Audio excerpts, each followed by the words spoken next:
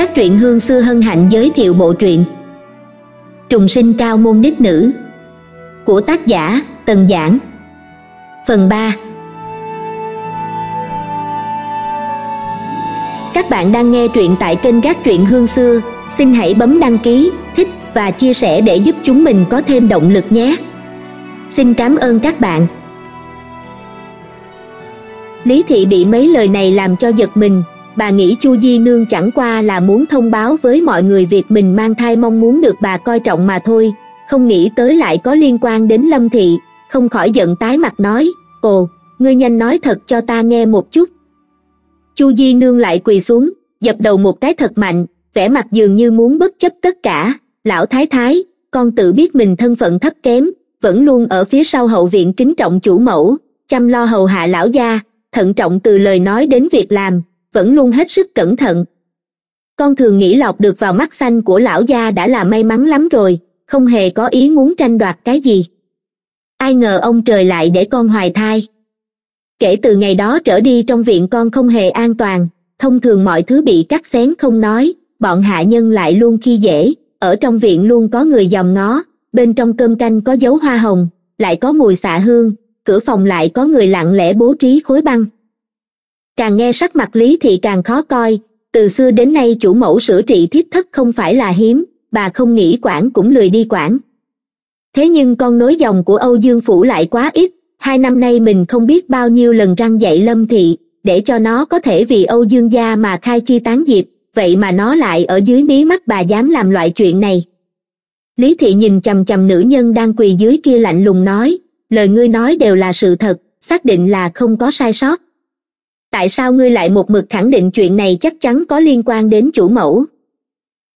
Lão thái thái, con tuyệt đối không nói sai. Nếu hôm nay con đã đến đây, có một số việc con sẽ không giấu nữa. Con là do cấp trên của lão gia đưa đến, ông ấy vì dạy dỗ con ca múa còn từng mời một vị lão ma ma trong thanh lâu đến. Lão ma ma kia cũng từng nói qua chủ mẫu các gia đình lớn thường có rất nhiều biện pháp đối phó với các di nương, thường nói với con phải rất cẩn thận bà ta là người dạy con nhận biết được hoa hồng, xạ hương chu di nương lúc này đã lấy lại được bình tĩnh, đối đáp đã có trật tự, những thứ ngày đó đưa đến, con một chút cũng không động và còn giữ lại, nha đầu hoàng nhi có thể làm chứng, nó là nha hoàng âu dương gia, cha mẹ đều ở trong phủ mà không phải là người con đưa từ ngoài vào, tuyệt đối sẽ không vì một di nương thân phận thấp kém như con mà dám mạo hiểm vu cáo chủ mẫu, lừa dối lão thái thái, người có thể tìm cô ấy để hỏi rõ ba, một tiếng, ly trà trong tay lý thị lập tức rơi xuống đất, vỡ tan tành. Sắc mặt âu dương noãn giống như kinh ngạc vạn phần, thanh âm lại vững vàng, chu di nương, ngươi cần phải hiểu rõ, tội danh vu hãm chủ mẫu ngươi có thể gánh vác được không? Cho dù ngươi thật sự mang thai đi nữa e là lão thái thái cũng không dễ dàng tha thứ cho ngươi.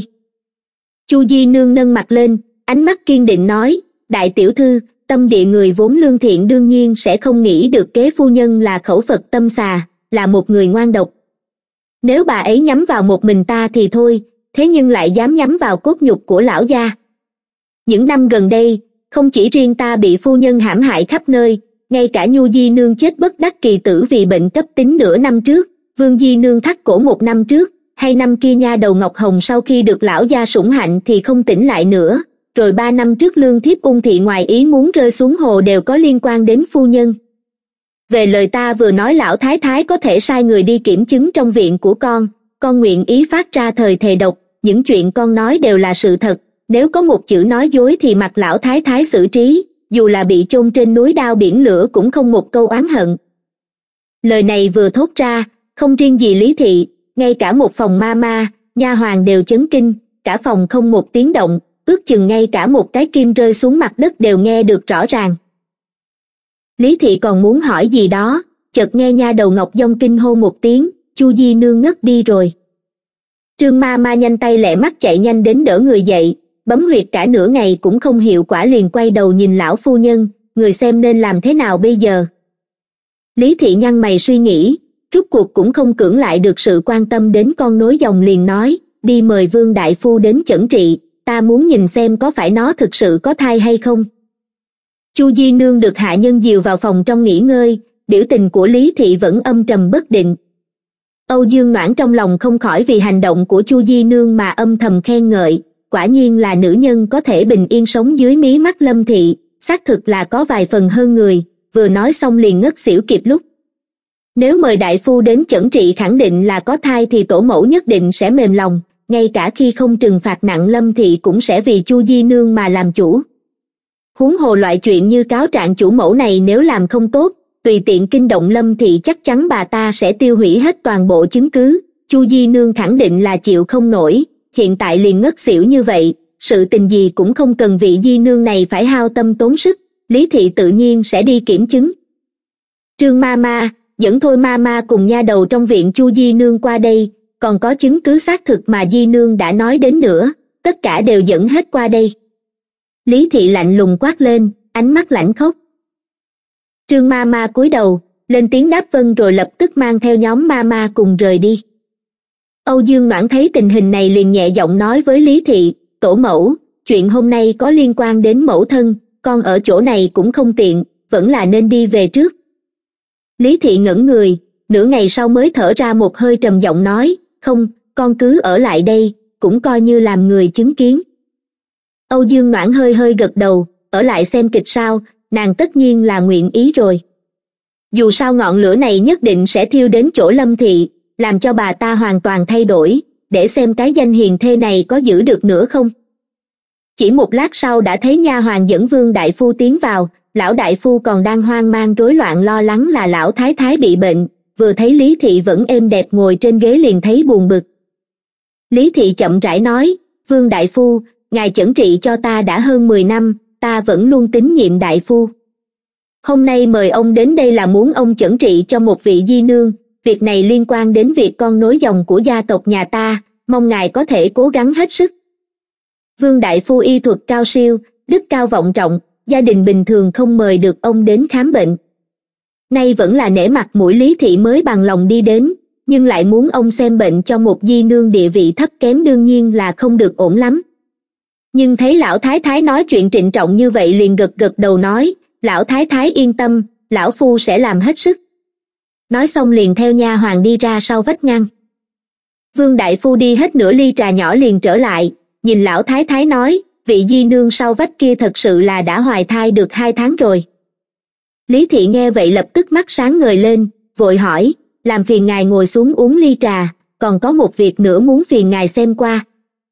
Vương đại phu ngồi xuống uống trà, lúc này trương ma ma đã quay trở lại, còn dẫn theo thôi ma ma, nha đầu hoàng nhi cùng không ít trang sức, hương liệu cùng váy áo của nữ tử dùng thường ngày.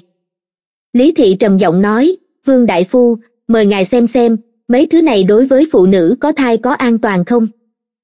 Ánh mắt vương đại phu mang theo nghi hoặc đi lên, lật lật xem xét, dùng tay vuốt thẳng một lúc, lại đưa lên mũi ngửi ngửi.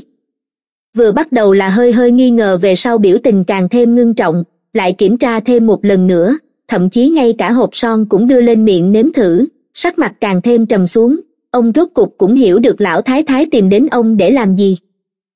Vương đại phu quay đầu nhìn lý thị, sắc mặt đen lại, thật sự là không thể tưởng được là tìm đến ông để kiểm nghiệm việc này lý thị thấy vẻ mặt khác thường của vương đại phu không tự chủ được liền hỏi kết quả, nhưng ông lại cau mày không nói lời nào, mặc cho lý thị gặn hỏi mãi, ông đều trầm mặt không nói. Âu dương noãn liền trịnh trọng nói, vương đại phu, ngài xuất thân từ gia đình có truyền thống, phụ thân ngài còn làm ngự y trong cung, học rộng hiểu nhiều. Nếu ngay cả ngài mà cũng không nói thật cho chúng ta biết thì tổ mẫu biết phải tin tưởng vào ai.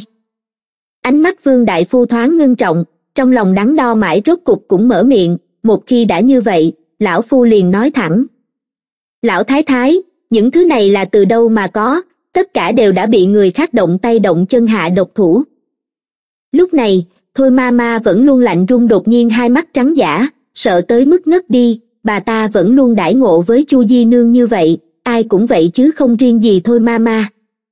Hoàng nhi nhìn bà ta ngã xuống một cái, trong mắt lộ ra vẻ mặt chán ghét lý thị vừa nghe vương đại phu nói như vậy trong lòng nhất thời hiểu được bà đến liếc mắt nhìn thôi ma ma cũng lười thở dài nói một hơi vương đại phu hiện tại không cần nói nữa ta đều đã hiểu được. Mời ngài qua bên đây ngồi nghỉ ngơi trước.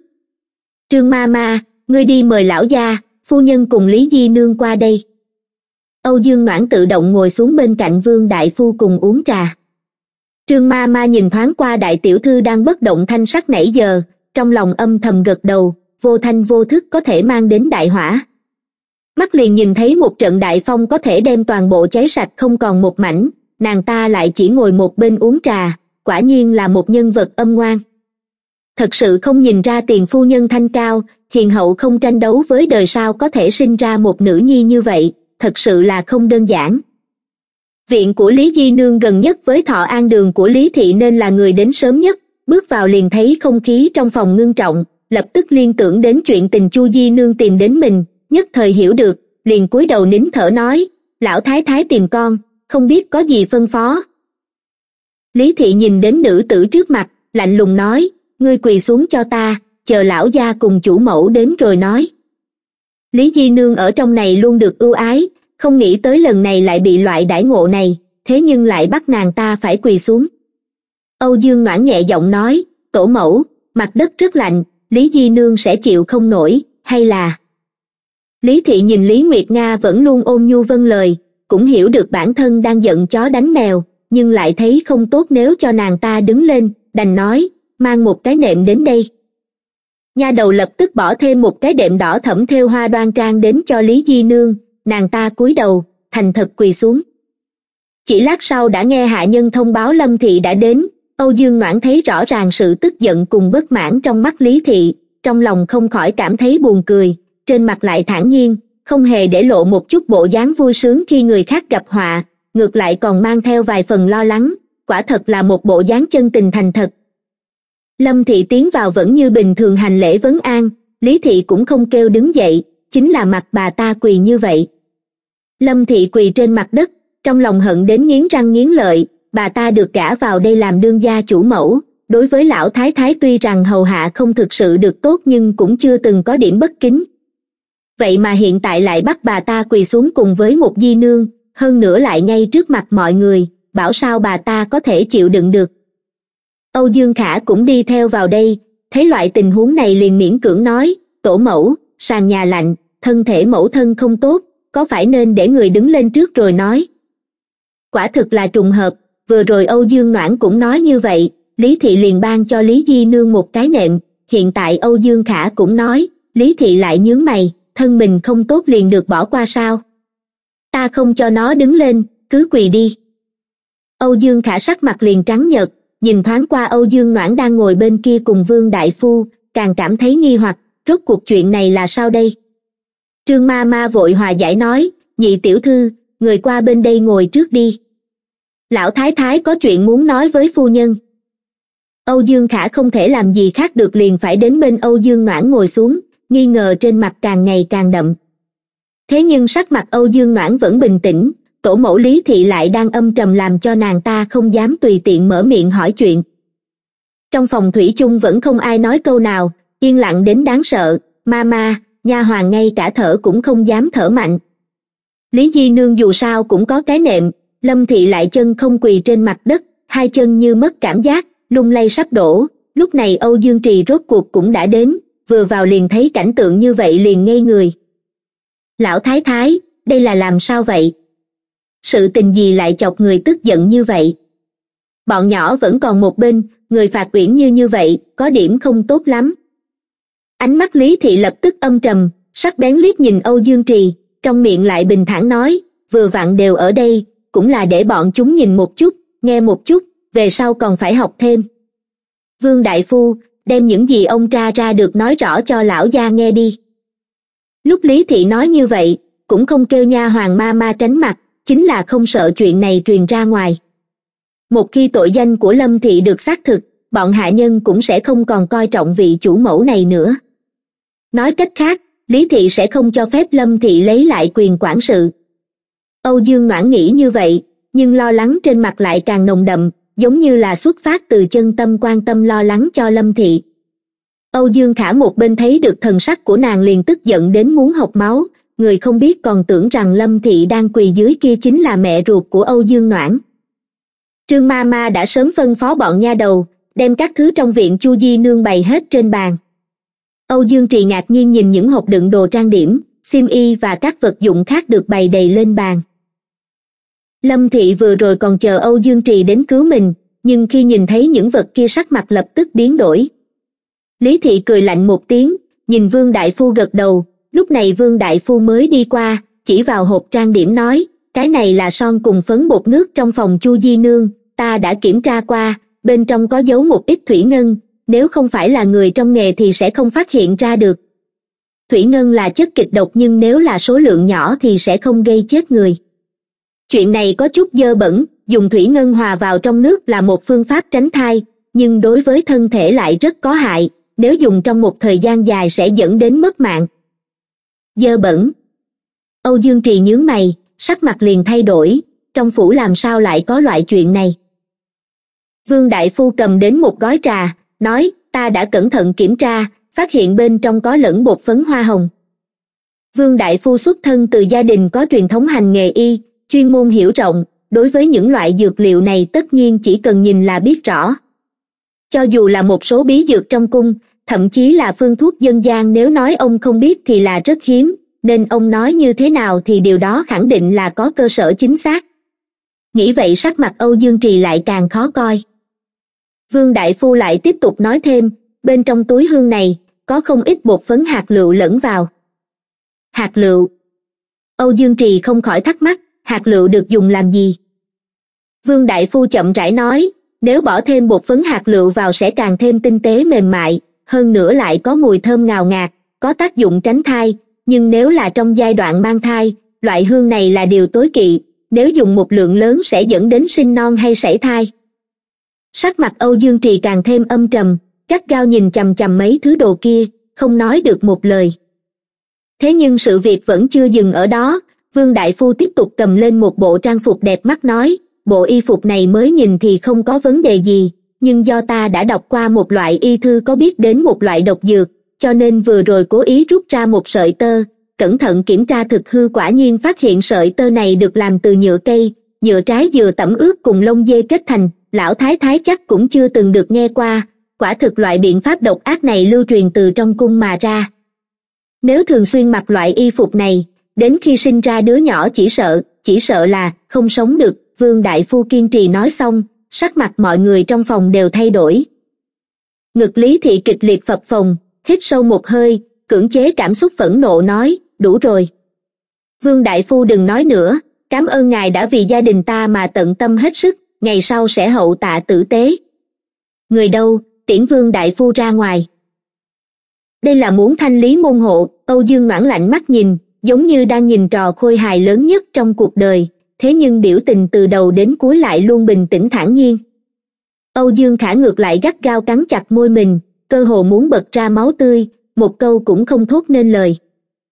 Lão Thái Thái, mấy thứ vừa rồi là Âu Dương Trì cũng bị những thứ âm độc này làm cho kinh hãi không nói nên lời. Hừ, đây đều là vì đứa nhỏ trong bụng Chu Di Nương mà chuẩn bị. Lý Thị hừ lạnh một tiếng. Âu Dương Trì sắc mặt đại biến, đầu tiên là kinh ngạc chuyện Chu Di Nương mang thai sau lại giận tím mặt, ai lại dám cả gan làm loạn ngay cả đứa nhỏ của hắn cũng dám tính kế. Lâm Thị không đợi Âu Dương Trì nói chuyện, đầu tiên là ngăn cản người khác giành nói, Lý Di Nương, ngươi còn gì để nói không? Làm mất đi sự tín nhiệm của lão thái thái thì thôi, đằng này lại cư nhiên dám làm hại đến cốt nhục của lão gia. Lý Di Nương lắp bắp kinh hãi, Hoa Dung thất sắc nói, không phải thiếp, thiếp cái gì cũng không biết a. Lão gia, lão phu nhân minh giám. Lý Thị vỗ mạnh tay xuống bàn, ánh mắt tàn nhẫn bắn về phía Lâm Thị, tất cả câm mồm. Đi làm thôi ma ma tỉnh dậy, mang đến đây. Trương ma ma liếc mắt ra hiệu, liền có nhóm ma ma ba chân bốn cẳng nhanh chóng làm cho thôi ma ma tỉnh lại, khi tỉnh lại nét mặt già nua liền sợ tới mức trắng bệch, trung trung quỳ xuống, lão thái thái tha mạng. Ngươi mau khai thật ra, rốt cuộc là ai đã sai ngươi đem mấy thứ này cho Chu Di nương dùng. Nếu có nửa chữ nói dối, ta sẽ lột da của ngươi. Lý Thị hung tợn nói. Thôi ma ma đưa mắt nhìn Lâm Thị một cái, cắn chặt hàm răng một câu cũng không nói. Âu Dương Trì đi hung hăng đá một cước vào ngực thôi ma ma, lão nô tài chết tiệt, nếu không nói thì ngay cả người nhà ngươi ta cũng đem bán. Thôi ma ma bị đá một cước lão đảo té ngã trên mặt đất, liền phun ra một ngụm máu tươi, lại chỉ có thể cắn răng chống đỡ quỳ lên, lúc này nói cũng chết mà không nói cũng chết, đúng là lưỡng nan, Lý Thị cười lạnh một tiếng, ngươi không nói thì ta cũng đã biết, ngươi là lão ma ma trong phủ này, Lý Di Nương vừa mới vào cửa được nửa tháng, quản sự bất quá cũng mới vài ngày, có thể lung lay được ngươi sao? Nói xong, ánh mắt như độc tiễn bắn về phía Lâm Thị, ngươi còn gì để nói? Mấy thứ này đều là do ngươi sai người mang đến cho Chu Di Nương, ngươi lại còn dám đổ tội lên đầu Lý Di Nương, khá lắm, đúng là không coi ai ra gì. Âu Dương Noãn lúc này thản nhiên liếc mắt với Lý Di Nương một cái, Lý Di Nương vốn thông minh, lập tức biết được nên phải phản ứng thế nào, lập tức quỳ rạp xuống chân Âu Dương Trì, sắc mặt trắng bệch, thất kinh nói, lão gia. Chuyện này không phải do thiếp làm. Thiếp tuy rằng xuất thân từ dòng dõi thư hương, nhưng dù sao cũng chỉ là cửa nhỏ nhà nghèo, những thứ dơ bẩn này nọ quả thực là văn sở vị văn. Nếu vừa rồi không phải Vương Đại Phu nói, thiếp ngay cả nghe qua cũng chưa từng. Lão Thái Thái nói phải, thiếp mới quản sự được vài ngày, làm sao có thể sai khiến được thôi ma ma. Lão gia, cầu xin người hãy làm chủ cho thiếp. Nàng ta quỳ trên mặt đất không ngừng kêu oan, nước mắt như mưa, so với hoa lê đái vũ còn làm người ta thương xót hơn.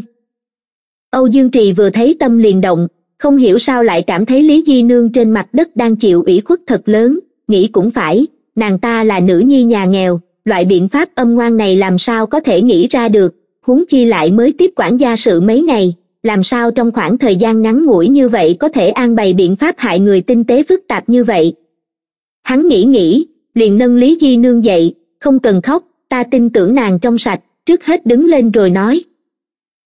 Vậy là người quỳ chỉ còn lại Lâm Thị, Âu Dương Trì gắt gao nhìn chầm chầm bà ta, không thể nào liên tưởng được nữ nhân ôn nhu này cùng người tâm địa độc ác trong lời nói của Vương Đại Phu kia lại cùng một người. Những năm gần đây, ngươi muốn sửa trị quản lý những di nương nha đầu như thế nào ta cũng mặc kệ, nhắm mắt làm ngơ. Chẳng qua nghĩ rằng đó chỉ là cãi nhau nhỏ giữa các nữ nhân mà thôi, chủ mẫu nhà ai lại không có chút thủ đoạn mới ngồi vững được ở vị trí kia. Nhưng lần này lại không giống, việc này có liên quan đến con nối dòng, có quan hệ đến huyết mạch Âu Dương gia ta. Ta đã luôn nói với ngươi, nếu là di nương không có chỗ dựa thì tùy ngươi xử lý, nhưng nếu là người có chỗ dựa thì trăm ngàn lần phải để ý, ngươi lại làm ngược lại. Chu Di Nương có thai ngươi gạt đi không báo thì thôi, còn tìm mọi cách khó dễ nàng ta, ngươi có thể không xem lời ta nói ra gì, nhưng ngươi cũng phải để ta và trượng phu ngươi vào trong mắt. Lâm Thị trong lòng kinh hãi không thôi, vốn tưởng rằng mọi chuyện được làm rất khéo, lại được giấu kín, làm sao lại bị phát hiện được. Thật sự là đáng chết. Âu Dương Noãn nhìn bà ta, ánh mắt sắc lạnh.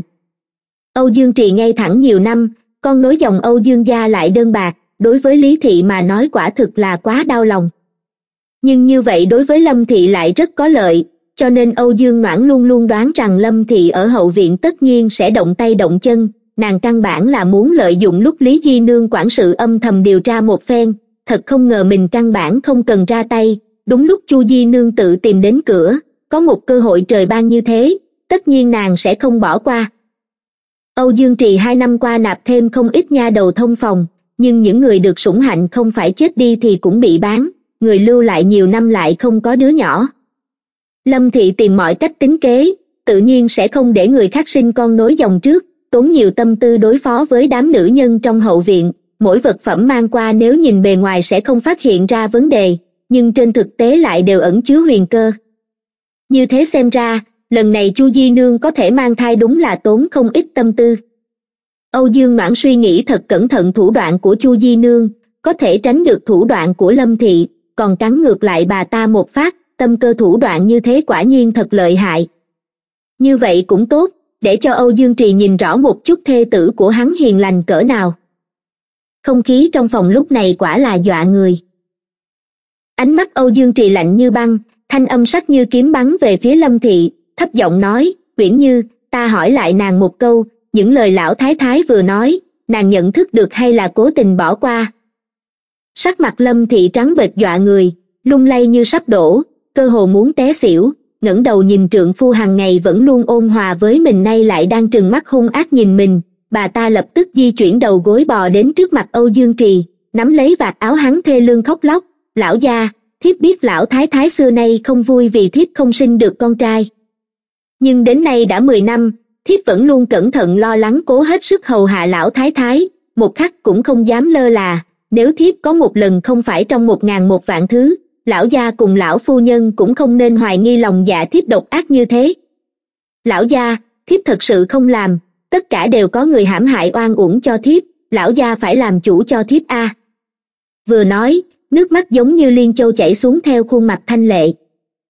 Âu dương trì nhịn không được sửng sốt, lý thị tức đến cả người phát trung nắm tay nắm chặt thành ghế cố gắng khống chế tức giận, ngươi ngươi ngươi thế nhưng lại không biết xấu hổ, còn sống chết không chịu thừa nhận trong phủ này ai có thể hãm hại được ngươi, lại hãm hại như thế nào?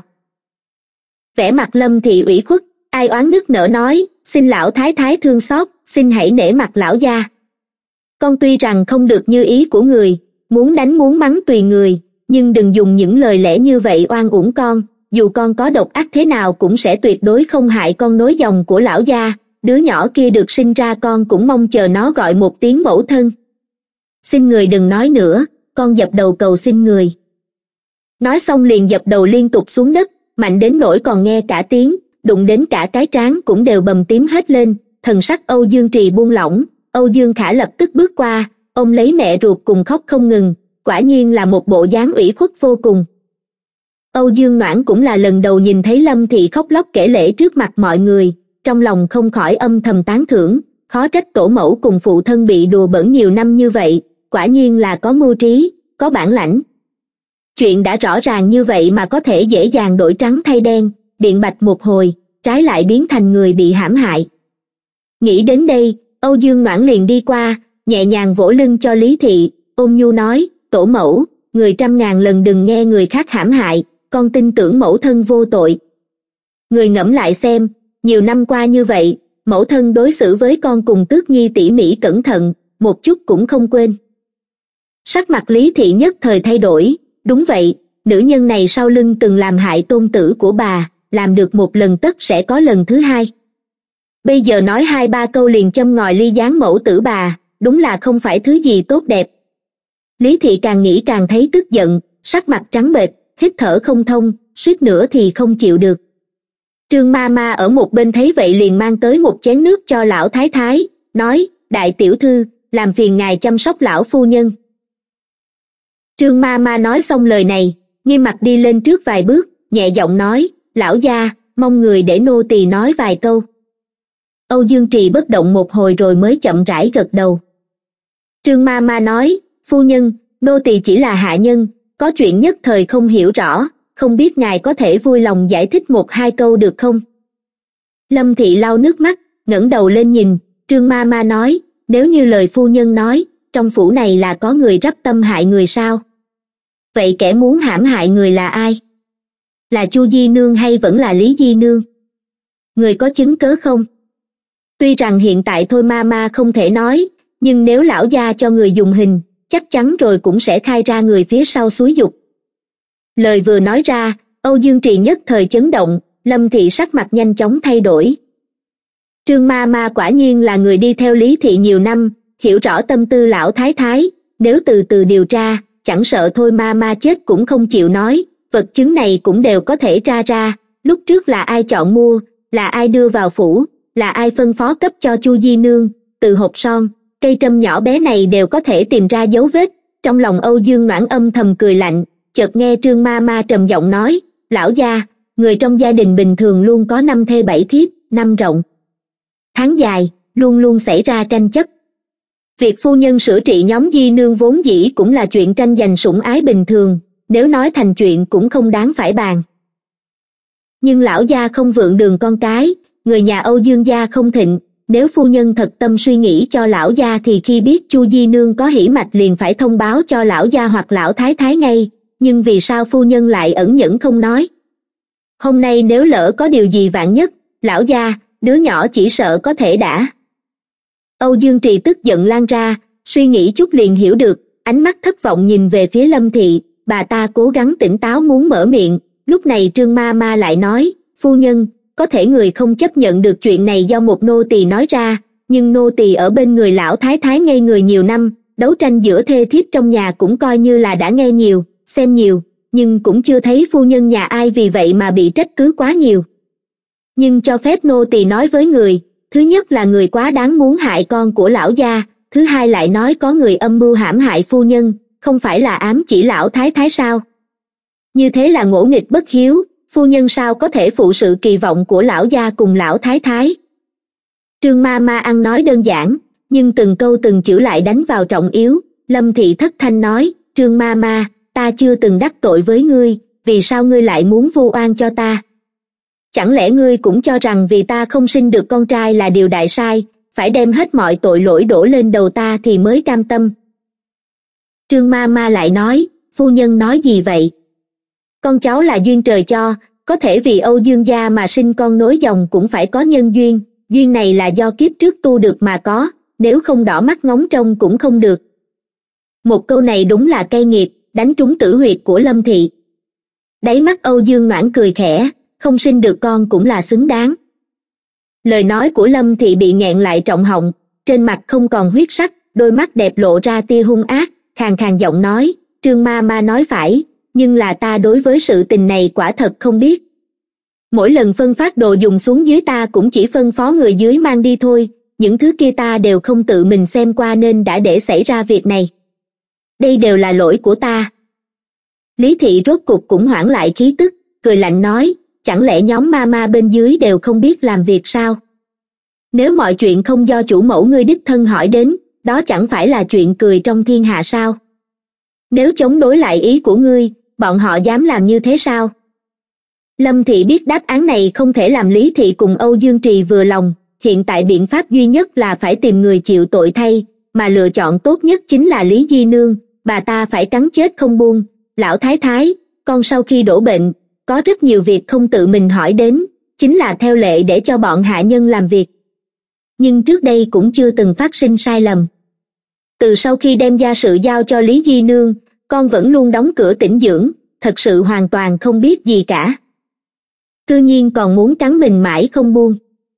Lý di nương oán hận nhìn lâm thị, há miệng thở dốc muốn biện bạch vài câu, cuối cùng vẫn không cam lòng im lặng trầm mặt đứng lên, lửa giận dưới đáy mắt càng phát ra mạnh mẽ nhìn lâm thị oán hận đến tận xương tủy. Lý thị quát lạnh câm mồm. Lâm nguyễn như, ngươi là chủ mẫu trong nhà, sự tình trong hậu viện này thì phải hỏi ngươi, chẳng lẽ vẫn là ta cố ý oan uổng cho ngươi sao? Hoặc là ngươi đối với việc ta để cho lý di nương thay ngươi quản lý hậu viện là có bất mãn. Trên mặt lâm thị vẫn là bộ dạng buồn rầu đau đớn. Lão thái thái, trời thấy, con thật sự cái gì cũng không biết nếu như người một mực khẳng định là do người con dâu này gây nên, con tình nguyện dập đầu chết tại chỗ, chứng minh trong sạch. Nói xong liền đứng lên, muốn hướng vào tường đụng mạnh, trong nhất thời toàn bộ ma ma, nha đầu hỗn loạn đứng lên kéo lại, tất cả kêu loạn, nhất thời trong phòng đều ầm ĩ. Lý thị đột nhiên cầm lấy bình trà ném thẳng xuống đất vỡ nát, âm thanh thanh thúy làm mọi người đều cả kinh, trong phòng lập tức yên tĩnh, ngay cả lâm thị cũng ngây người một lát âu dương noãn nhìn lý thị ném bình trà xuống, liền bước lên phía trước vỗ nhẹ lưng của bà, nhẹ giọng trấn an nói, tổ mẫu bất giận, cẩn thận sức khỏe. Sau đó nàng liếc nhìn âu dương trì một cái, ôn nhu khuyên giải, phụ thân, nếu đã như thế thì cần gì tra xét nhiều nữa, cần gì phải huyên náo đến mức gia đình không yên thế này? Dù sao đứa nhỏ trong bụng chu di nương cũng đã bình an vô sự, chuyện này coi như tạm yên trước đi.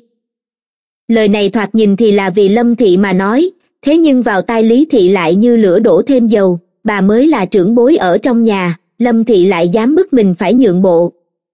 Đúng là mơ mộng hảo huyền.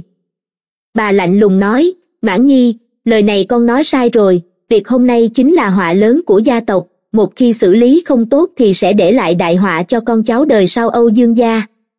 Tra. Chuyện này không thể không tra. Trương ma ma thấy thế liền cung kính nói phu nhân thường ngày hiểu biết lễ nghi quy củ, hôm nay lời nói, việc làm sao lại không có lý lẽ như vậy?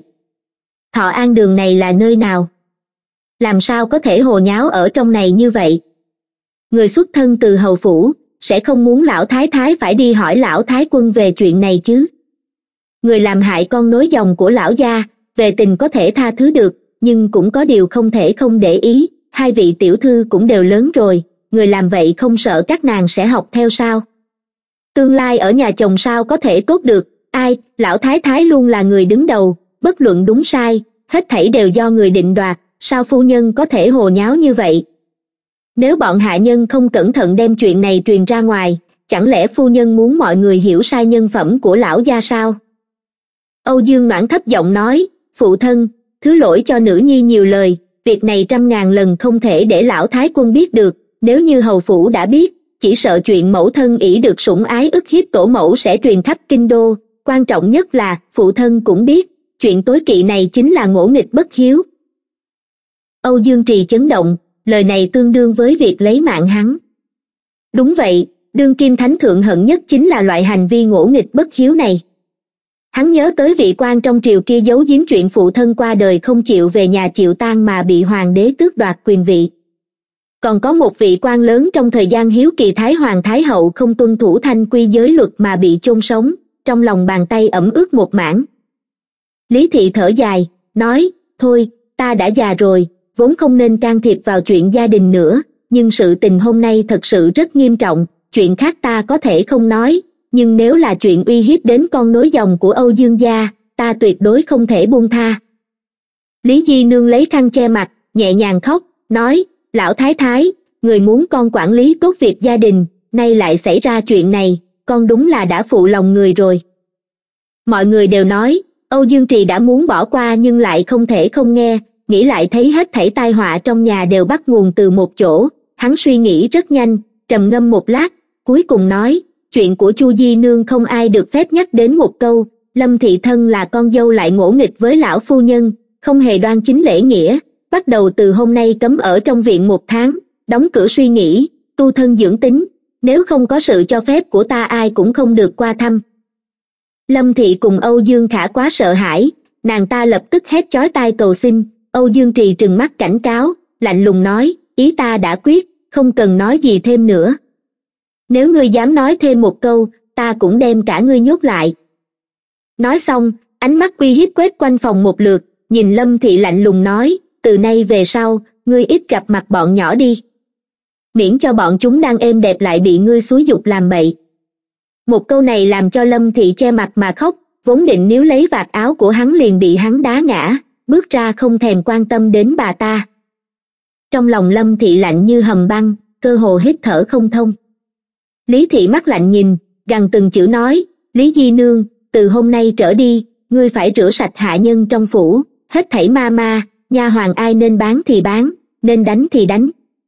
Trong viện này còn không biết có bao nhiêu loại hạ nhân dơ bẩn gì đó, ta muốn ngươi phải kiểm tra thật kỹ một phen, nhất là trong viện của ngươi càng phải cẩn thận, dù sao cũng là chỗ lão gia thường lui tới, nếu thực sự có loại hạ nhân như vậy, chỉ sợ ngay cả hắn cũng không được an toàn. Lý Di Nương thập phần cao hứng, trong lòng cố kìm nén vui mừng, Âu Dương Noãn lại vẫn như cũ thần sắc không thay đổi, thấp giọng trấn an, tổ mẫu đừng để trong lòng. Toàn bộ kinh đô này có nhà nào là không có chút chuyện phiền lòng. Dù sao cũng chỉ là chút chuyện nhỏ, Lý Di Nương khẳng định có thể xử lý tốt, làm cho mọi chuyện an ổn lại là người có thể yên tâm. Ra khỏi thọ an đường, Âu Dương Noãn khóe miệng hơi hơi dơ lên, chắc là Lâm Thị cũng không nghĩ được mình cũng có ngày như vậy.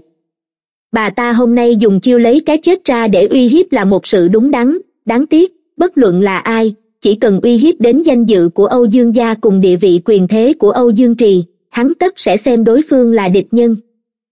Trở lại viện mình, ngay cả Phương Ma Ma cũng đều lộ nét mặt vui sướng, nhịn không được niềm vui liền nói với Âu Dương Noãn, đại tiểu thư quả nhiên dự liệu không sai. Lão gia hôm nay chẳng qua là ngại mặt mũi của hầu gia cùng không muốn việc xấu trong nhà bị bên ngoài biết được nên chưa từng khắc nghiệt với phu nhân, nhưng nhìn thái độ hôm nay của lão gia là biết, người đã hoàn toàn mất đi sự tin tưởng với Lâm Thị, chỉ sợ từ nay về sau muốn lấy lại ân sủng e rằng còn khó hơn lên trời. Hồng Ngọc nhẹ nhàng mang trà lại đây, Âu Dương Noãn bưng lên uống một ngụm rồi mới chậm rãi nói, ma ma đừng cao hứng quá sớm, Lâm Thị cũng không phải loại hổ giấy. Chuyện hôm nay chẳng qua là do trở tay không kịp, ta đoán rằng bà ta sẽ có phản kích, đến lúc đó là cùng Chu Di Nương một sống một chết cũng chưa biết chừng. Phương ma ma nhíu mày, có chút hoài nghi nói, điều này sao có thể, lão gia hôm nay phát hỏa lớn như vậy, sao có thể bị hai ba câu vỗ về của phu nhân lung lay. Đại tiểu thư cũng quá xem trọng bà ta rồi. Nếu ma ma không tin thì cứ chờ xem. Âu Dương Noãn mỉm cười, không hề nói thêm nữa bất luận lâm thị phản kích như thế nào nàng chỉ cần ngồi chờ xem kịch là được dù sao nhóm lửa này cũng đã nhen lên ai cũng đừng nghĩ được toàn thân trở ra âu dương noãn nghiêng người dựa vào giường, nàng nhắm mắt đón ánh nắng từ cửa sổ chiếu vào, dáng vẻ trầm tĩnh ôn nhu động lòng người. Cho dù là hồng ngọc hàng ngày tiếp xúc cũng không kìm được mà than thầm một tiếng, nàng là đại tiểu thư, khí chất như vậy, tướng mạo như vậy, nếu lớn thêm chút nữa không biết sẽ làm tan nát trái tim bao nhiêu nam nhân. Âu dương tước bước vào noãn cát, hai mắt tỏa sáng, mày ngài nhướng lên, bước đi nhanh nhẹn, áo choàng màu xanh tung bay theo từng nhịp chân bảo quyên đuổi theo từ phía sau kêu lên, đại thiếu gia, người đừng chạy, cẩn thận ngã. Âu dương tước nhanh chóng vọt vào trong phòng, bộ dáng rất hưng phấn, chạy đến trước mặt âu dương noãn rồi mới dừng lại, thở hồng hộc nói, tỷ tỷ, đệ đã tìm được sách về quảng lăng mà tỷ muốn rồi. Âu dương noãn còn chưa kịp phản ứng, hắn đã muốn dùng sức kéo lấy tay áo nàng, tỷ tỷ, mau đứng lên, đệ dẫn tỷ đi. Đại thiếu gia, người đừng vội có sách cốt gì thì mua về là được. Đại tiểu thư không thích xuất môn, người quên rồi sao? Phương ma ma ở một bên nhắc nhở. Những thiên kim tiểu thư bình thường xuất môn dân hương, dự tiệc hay mua sắm đồ trang điểm cũng không có gì ngạc nhiên, chỉ là âu dương noãn không thích xuất môn, điểm này bọn họ đều biết, nhưng mà lúc này âu dương noãn lại mỉm cười, đứng thẳng dậy nói, ma ma, nếu thiếu gia có thể mua được thì đâu có về tay không? Cái này là sách cổ trân quý chỉ sợ người ta không dễ gì chịu bán. Hồng ngọc, thay sim y cho ta. Xe ngựa của âu dương gia cũng không xa hoa, nhưng bên trong lại rộng rãi thoải mái. Chỗ ngồi phía trên được bày cái nệm thật dày, âu dương noãn uể oải dựa vào đọc sách, hồng ngọc cúi đầu gãy gãy chậu than đặt giữa xe, làm cho than bên trong cháy càng mạnh. Âu dương tức thật cao hứng, vén rèm bên hông xe lên, nhìn nhìn cảnh sắc bên ngoài, quay đầu nói với âu dương noãn, tỷ tỷ hôm nay tỷ có chuyện gì vui sao? Ồ, sao đệ lại biết? Âu dương noãn cười, buông sách xuống nhìn hắn. Âu dương tước nhướng mày lên, ánh mắt đen lấy như có thần, đó là điều đương nhiên, đệ là đệ đệ của tỷ, tâm trạng tỷ vui vẻ khẳng định là không gạt được đệ. Âu dương noãn vương tay, sờ sờ đầu hắn nói, đệ thật là thông minh. Đệ nói một chút tình hình ở nơi bán sách này đi. Nếu như không cần thiết nàng không nghĩ là sẽ để cho hắn tham dự đến chuyện tranh đấu nhàm chán này, không nên để những chuyện dơ bẩn này làm phiền đến hắn. Đệ đệ của nàng vẫn còn nhỏ, sạch sẽ là tốt rồi, những chuyện này để mình nàng đối mặt là được. Tỷ không biết đâu, ông chủ sống chết cũng nhất định không chịu bán. Quyển sách kia đã có người đặt trước rồi, đệ trả số tiền lớn để hắn bán trao tay cho đệ, hắn vẫn nhất quyết không chịu. Đệ vẫn không chịu từ bỏ ý định, mỗi ngày đều đến thuyết phục tiểu nhị trong tiệm nói, căn bản không có ai đặt trước, đệ liền đoán ông chủ luyến tiếc sách cổ lạ quý hiếm nên không chịu bán cho đệ. Có chuyện này sao? Âu dương noãn gật gật đầu, nếu chỉ là sách bình thường, mua không được cũng không có gì, chỉ là quyển sách này rất quan trọng với nàng. Một khi đã như vậy, xem ra đi chuyến này cũng vô ích rồi. Đúng lúc này, xe ngựa đột ngột dừng lại, âu dương tước thò đầu ra, hỏi, làm gì thế? Sao lại dừng? Sa phu chạy nhanh lại nói, thưa đại thiếu gia, phía trước hình như có người té xỉu. Âu dương tước theo hướng sa phu chỉ nhìn qua, quả nhiên nhìn thấy một tên ăn mày bẩn thỉu nằm ngay giữa đường, chắn ngang phía trước xe ngựa. Âu dương tước nhíu mày, hộ vệ đi theo phía sau chạy nhanh lên nói, đại thiếu gia yên tâm, nô tài lập tức đuổi hắn đi ngay. Hộ vệ kia bước nhanh hai ba bước đã tới chỗ gã ăn mày kia nằm, một bàn tay nhấc hắn ta lên không hề khó khăn nhất bổng cả người lên không trung. Nhìn thấy tình cảnh như vậy, đám người xung quanh đều ghé mắt xem náo nhiệt, thầm nghĩ xe ngựa này vừa nhìn là biết của người giàu sang phú quý, nhìn hình dáng hộ vệ như thế, tên ăn mày này khẳng định là sẽ nếm đau khổ. Cũng có người hảo tâm muốn ngăn cản, nhưng khi nhìn thấy ký hiệu hoa sen trên xe ngựa kia lại không dám tiến lên hỗ trợ, chỉ có quý nhân, quan lớn thì mới có thể khắc hiệu gia tộc trên xe ngựa. Dừng tay bỗng nhiên trên xe ngựa vang lên tiếng nói theo đó là một bàn tay vén rèm vươn ra đó là một bàn tay trắng nõn tinh tế móng tay dài không hề tỉ mỉ tân trang cũng không sơn đỏ ngón tay không đeo những bảo thạch vàng bạc cổ tay cũng không có vòng ngọc quý báu chỉ lộ ra ống tay áo màu thiên thanh lại cũng không giống như những tiểu thư quý tộc bình thường theo thêm hoa văn phức tạp không biết vì sao, khi ống tay áo kia lộ ra, lập tức khiến người từ xa đều đứng lên. Mọi người không hẹn mà trong đầu đều cùng miên man bất định xuất hiện một mỹ nhân, nhưng trong nháy mắt, bàn tay vén rèm kia lại thu trở về, một âm thanh mềm mại nhẹ nhàng vang lên, nói, thả hắn đi. Lúc này tên ăn mày kia cũng bị khí lực của hộ vệ làm cho tỉnh lại, đang dùng sức giãy giụa hộ vệ kia vừa nghe liền thả người xuống, cúi đầu nói, dạ, đại tiểu thư. Tên ăn mày kia té qua một bên, hắn vừa rồi là đói quá mà bị hôn mê, nếu không cũng sẽ không cẩn thận chặn ngang xe ngựa của quý nhân quan lớn này, còn tưởng rằng sẽ giống như xưa bị ăn đòn chứ. Vừa mới nhẹ nhàng thở ra, lại thấy Âu Dương Tước từ xe ngựa kia nhảy xuống bước đến, tiểu khất kia sợ tới mức trốn sau tên hộ vệ. Âu Dương Tước bước qua, một bên lớn tiếng trách cứ hắn, làm bộ như muốn cho hắn một cước, một bên thừa dịp người khác không chú ý cho đưa cho hắn một nén bạc nói, đây là của tỷ tỷ ta cho ngươi, đừng để người khác cướp mất. Tiểu khất kia đang nghẹn họng trân trối nhìn tiểu thiếu gia quý tộc xinh đẹp trước mắt này thì thấy người ta đã lại lớn tiếng cười lớn, quên đi, lần này tha cho ngươi. Về sau còn để ta nhìn thấy, nhất định sẽ đánh chết ngươi. Nói xong liền xoay người bước lên xe ngựa. Xem xong một hồi náo nhiệt, mọi người cũng nhanh chóng tản đi, chỉ có tên tiểu khất kia vẫn đứng bên đường cái, nắm chặt nén bạc trong tay, ngơ ngác nhìn xe ngựa rời đi. Một màn này, một chút cũng không lọt khỏi mắt của hai nam tử đang thưởng trà trên lầu cát kia. Quận vương, nam tử một bên cung kính thấp giọng nói, ngài đang nhìn cái gì vậy? Nam tử quay đầu, đó là một đôi mắt phượng dài tinh tế, cao quý mà hoa lệ, đồng tử đen lấy giống như cất chứa vô vàng tinh tú, lại vẫn âm thầm trầm tĩnh. Chỉ ngẩng đầu lên nhìn cũng khiến một trang nam tử như hắn không kiềm chế được chấn động một chút, nhất thời cảm thấy vị thiếu niên quận vương lạnh nhạt này cơ hồ không thể có người cùng hắn đối diện, ngay cả Yến Vương, phụ thân thân sinh của hắn, người mà hết thảy quan viên trong triều đều kính sợ cũng chưa từng có khí thế như vậy. Thế gian giai vị minh quận vương phong tư tuyệt thế không ai sánh được, các danh môn khuê tú nổi danh thường xuyên ngây ngốc nhìn đến mức luống cuốn té ngã trước mặt mọi người cũng là chuyện thường, thế nhưng chỉ những người thân cận mới biết vị quận vương này bình thường rất khó tiếp cận, lập tức hắn không dám nhìn nhiều, chỉ thấp giọng nói, quận vương, sách quý lần trước người muốn thuộc hạ tìm kiếm đã tìm được rồi. Âu Dương tước đoán không sai, vương trưởng quầy căn bản là không muốn bán, bởi vì quyển sách này là hắn hao phí biết bao tâm huyết mới tìm được, sao có thể dễ dàng bán cho người khác được. Mấy ngày nay, người đến tìm hắn mua sách nhiều không đếm được, hắn rất hối hận mình nhất thời nhanh mồm nhanh miệng đem chuyện này nói ra ngoài, chỉ có thể nói với mọi người là đã có người đặt mua trước, nhưng lại vẫn còn có người dây dưa mãi không chịu từ bỏ ý định, đó chính là vị tiểu công tử lại bộ thị lan đuổi mãi không đi này. Âu Dương thiếu gia, sách của ta thật sự là đã hứa bán cho người khác, ngài đừng đến đây nữa, cho dù có đến cũng vô ích. Nói không có chính là thật sự không có. Vương trưởng quầy kiên trì nói, bộ dáng giống như lợn chết không sợ nước sôi này.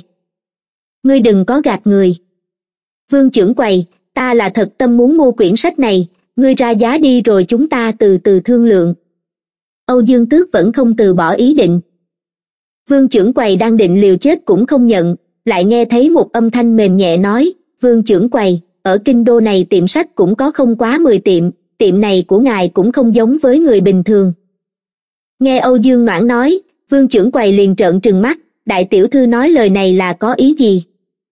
Âu Dương Noãn chỉ vào một tầng giá gỗ bày sách nói, nhà khác đều dùng vân thảo, nhục quế, dầu vừng, xạ hương để bảo vệ sách khỏi côn trùng, thế nhưng ở đây lại đặc biệt nổi bật, nếu ta nhìn không lầm, nàng nhẹ nhàng lấy ra một quyển sách, nhẹ nhàng mở trang sách ra, nói, cuốn đôn hoàng kinh này là dùng hoàng giấy cứng trắng thường dùng để sao chép bảo vệ, so sánh với các phương pháp bình thường ít nhất có thể bảo quản được 10 năm, thế nhưng phương pháp này quá mức phức tạp, giá cả lại trên.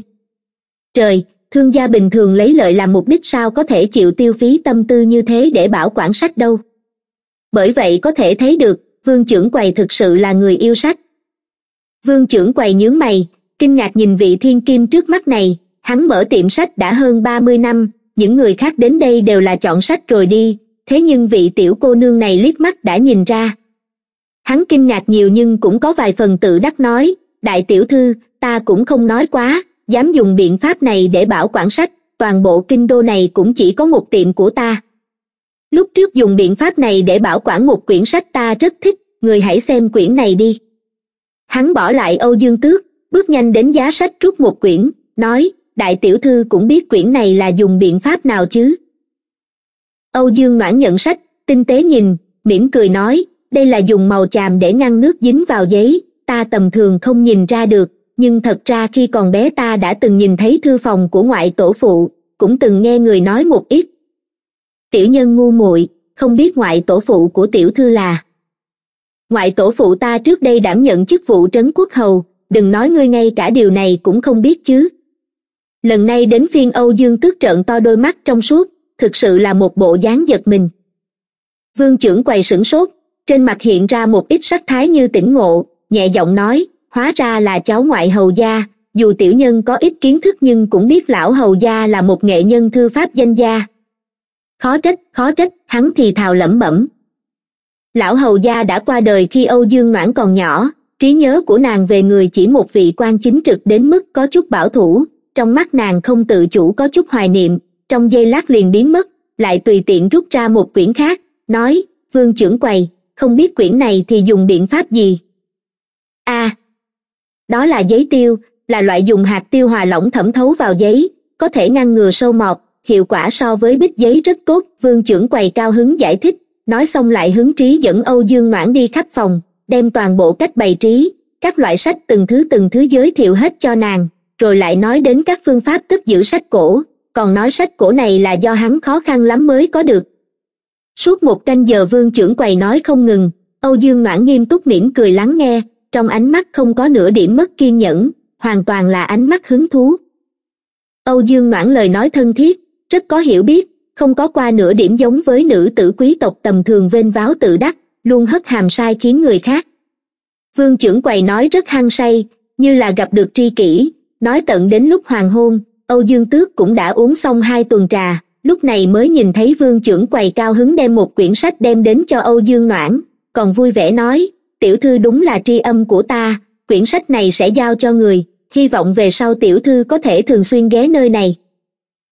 Âu dương noãn mỉm cười, nhìn vương trưởng quầy nói, tấm lòng của ngài âu dương noãn sao có thể từ chối, vừa nãy ta nghe nói ngài đang tìm hưng thịnh phụ tập, vừa hay ở chỗ ta có, ngày mai sẽ sai người mang đến cho ngài. Vương trưởng quầy mặt mày như nở hoa, vui vẻ tiễn âu dương noãn tới tận cửa mới quay về âu dương tước nghẹn họng trân trối nhìn quảng lăng tập tự trong tay âu dương noãn, nói, hắn hắn, đệ nói nhiều như vậy, mất nhiều tâm tư như vậy hắn cũng không thèm bán, vậy sao lại dễ dàng tặng cho tỷ như vậy? Vì sao chứ? Người như vương trưởng quầy, dùng quyền thế cưỡng bức hay dùng tiền bạc thu mua đều không được, nếu muốn có được quyển sách này, chỉ có thể dùng đường tắt. Âu dương noãn cười lắc đầu, nói, trời gần tối rồi, chúng ta nhanh về thôi hồng ngọc đang định đỡ âu dương noãn lên xe ngựa thì đột nhiên nghe được tiếng nói lớn, vị tiểu thư này, xin người hãy dừng bước. Chỉ thấy một nam nhân tuấn tú, bộ dáng thư sinh trẻ tuổi nhanh chóng bước đến, âu dương tước cảnh giác che chắn ở trước người âu dương noãn quát lên, ngươi làm gì vậy? Nam tử xa xa kia liền dừng lại, không bước tới gần nữa, cúi đầu cung kính hành lễ với hai người, quyển sách trên tay tiểu thư cũng là quyển mà thiếu gia nhà ta tìm kiếm bấy lâu cũng không phải muốn bắt tiểu thư bỏ đi thứ mình yêu thích, chỉ là bất luận tốn bao nhiêu bạc. Quyển sách này tỷ tỷ nhà ta đã mua trước rồi a, chủ tử nhà ngươi nếu có bản lãnh thì hãy đi mua một quyển khác, tỷ tỷ không cần để ý đến hắn. Chúng ta đi thôi. Âu dương tước nhíu mày, đối với những người có hành vi đột ngột cản đường này rất phản cảm, nếu là một quyển sách bình thường cũng không có gì, nhưng quyển này lại là thứ mà tỷ tỷ hắn khó khăn lắm mới có được dựa cái gì mà phải làm không công cho người khác? Tước nhi, không được vô lễ. Âu dương noãn thấp giọng nói, nhìn thoáng qua xe ngựa cách đó không xa, không nói đến hai con ngựa kéo là thần tuấn, hai ngọn liên đăng lưu ly làm bằng vàng rồng giá trị xa xỉ không hề giấu giếm treo hai bên cửa xe kia, điều làm cho âu dương noãn chú ý là dấu hiệu kim sắc trên thân xe. Tuy rằng sắc trời đã tối dần, nhưng âu dương noãn vẫn có thể thấy được rõ ràng bao quanh dấu hiệu kia là một vòng tròn hai tầng điêu khắc chạm rỗng mà thành bên trong là mười hai điều hình cung mũi nhọn quay theo chiều kim đồng hồ bên ngoài là bốn con phi điểu đang dương cánh bay hết sức mạnh mẽ hướng bay cùng với chiều xoay tròn bên trong hoàn toàn trái ngược thập phần độc đáo làm người ta mới gặp liền khó quên Âu Dương Noãn chỉ nhìn thoáng qua rồi nhanh chóng quay sang đem quyển sách kia giao cho Âu Dương Tước nói, để mang nó đưa cho vị tiên sinh kia đi. Tỷ tỷ, sao lại giao cho hắn? Âu Dương Tước bất mãn, còn muốn nói thêm, Âu Dương Noãn liền nhíu mày, nói, Tước Nhi, nghe lời đi. Mỗi lần tỷ tỷ nói như vậy có nghĩa là sẽ không thay đổi ý định, Âu Dương Tước biểu môi, oán hận đem quyển sách ném vào người nam tử trẻ tuổi kia, nói, cho ngươi. Trở lại xe ngựa, Âu Dương Tước vẫn còn tức giận, ngồi một bên không nói một lời, Hồng Ngọc cũng cảm thấy nghi hoặc liền hỏi, đại tiểu thư phải thật vất vả mới có được, vì sao lại? Âu Dương Noãn nhìn thoáng qua ngoài cửa sổ, thản nhiên nói, xe ngựa vừa rồi mang dấu hiệu thần điểu trong Thái Dương, đó là huy hiệu của hoàng tộc đại lịch, vì một quyển sách mà phải đắc tội với người hoàng gia, các ngươi cảm thấy đáng giá sao? Lời vừa thốt ra làm sắc mặt Hồng Ngọc liền trắng bệch, sợ tới mức đổ mồ hôi lạnh. Âu Dương Tước quên luôn cả tức giận, tự người vương đầu ra nhìn về phía sau, chỉ thấy xe ngựa kia vẫn còn đứng ở cửa tiệm, ánh nắng chiều tà chiếu lên xe làm ánh lên thứ ánh sáng lóa mắt, lại còn mang theo một tia hơi thở huyền bí. Tỷ tỷ sẽ không nhìn lầm, người nói là dấu hiệu thần điểu Thái Dương thì khẳng định là đúng như vậy, chỉ tại bản thân không cẩn thận, vừa rồi còn tỏ ra vô lễ, Âu Dương Tước lẩm bẩm, tỷ tỷ, nếu tỷ không nhắc nhở, thiếu chút nữa là đệ gây ra đại họa rồi. Vào lúc hoàng hôn, thị vệ Âu Dương Phủ đột nhiên nghe được âm thanh như sấm, mở to hai mắt liền thấy 10 kỵ binh cưỡi tuấn mã chạy tới. Toàn bộ ngựa thuần một màu đen bạc mềm mại, bên trong là huyền y cẩm sắc, mỗi một con ngựa đều mạnh mẽ hùng tráng, toàn bộ đen tuyền chạy lại gần đây, trước mắt bọn thị về cảm thấy sáng ngời, vàng lóng lánh, liền thấy mỗi một móng của con ngựa dĩ nhiên được làm từ hoàng kim.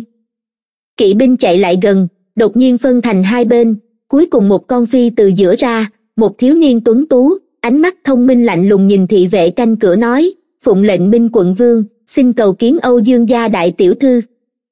Lời này vừa thốt ra, thị vệ nhất thời kinh động, vội vội vàng vàng chạy nhanh vào bẩm báo. Một lát sau đã thấy Âu Dương Trì tự mình đi ra cửa, tươi cười đầy mặt mời bọn họ vào phủ, nhưng tất cả mọi người đều chỉ thẳng tắp đứng bên ngoài, khẳng định là sẽ không vào, chỉ có thiếu niên đứng đầu trong tay đang cầm một cái hộp ngọc tinh xảo đi theo Âu Dương Trì vào phủ.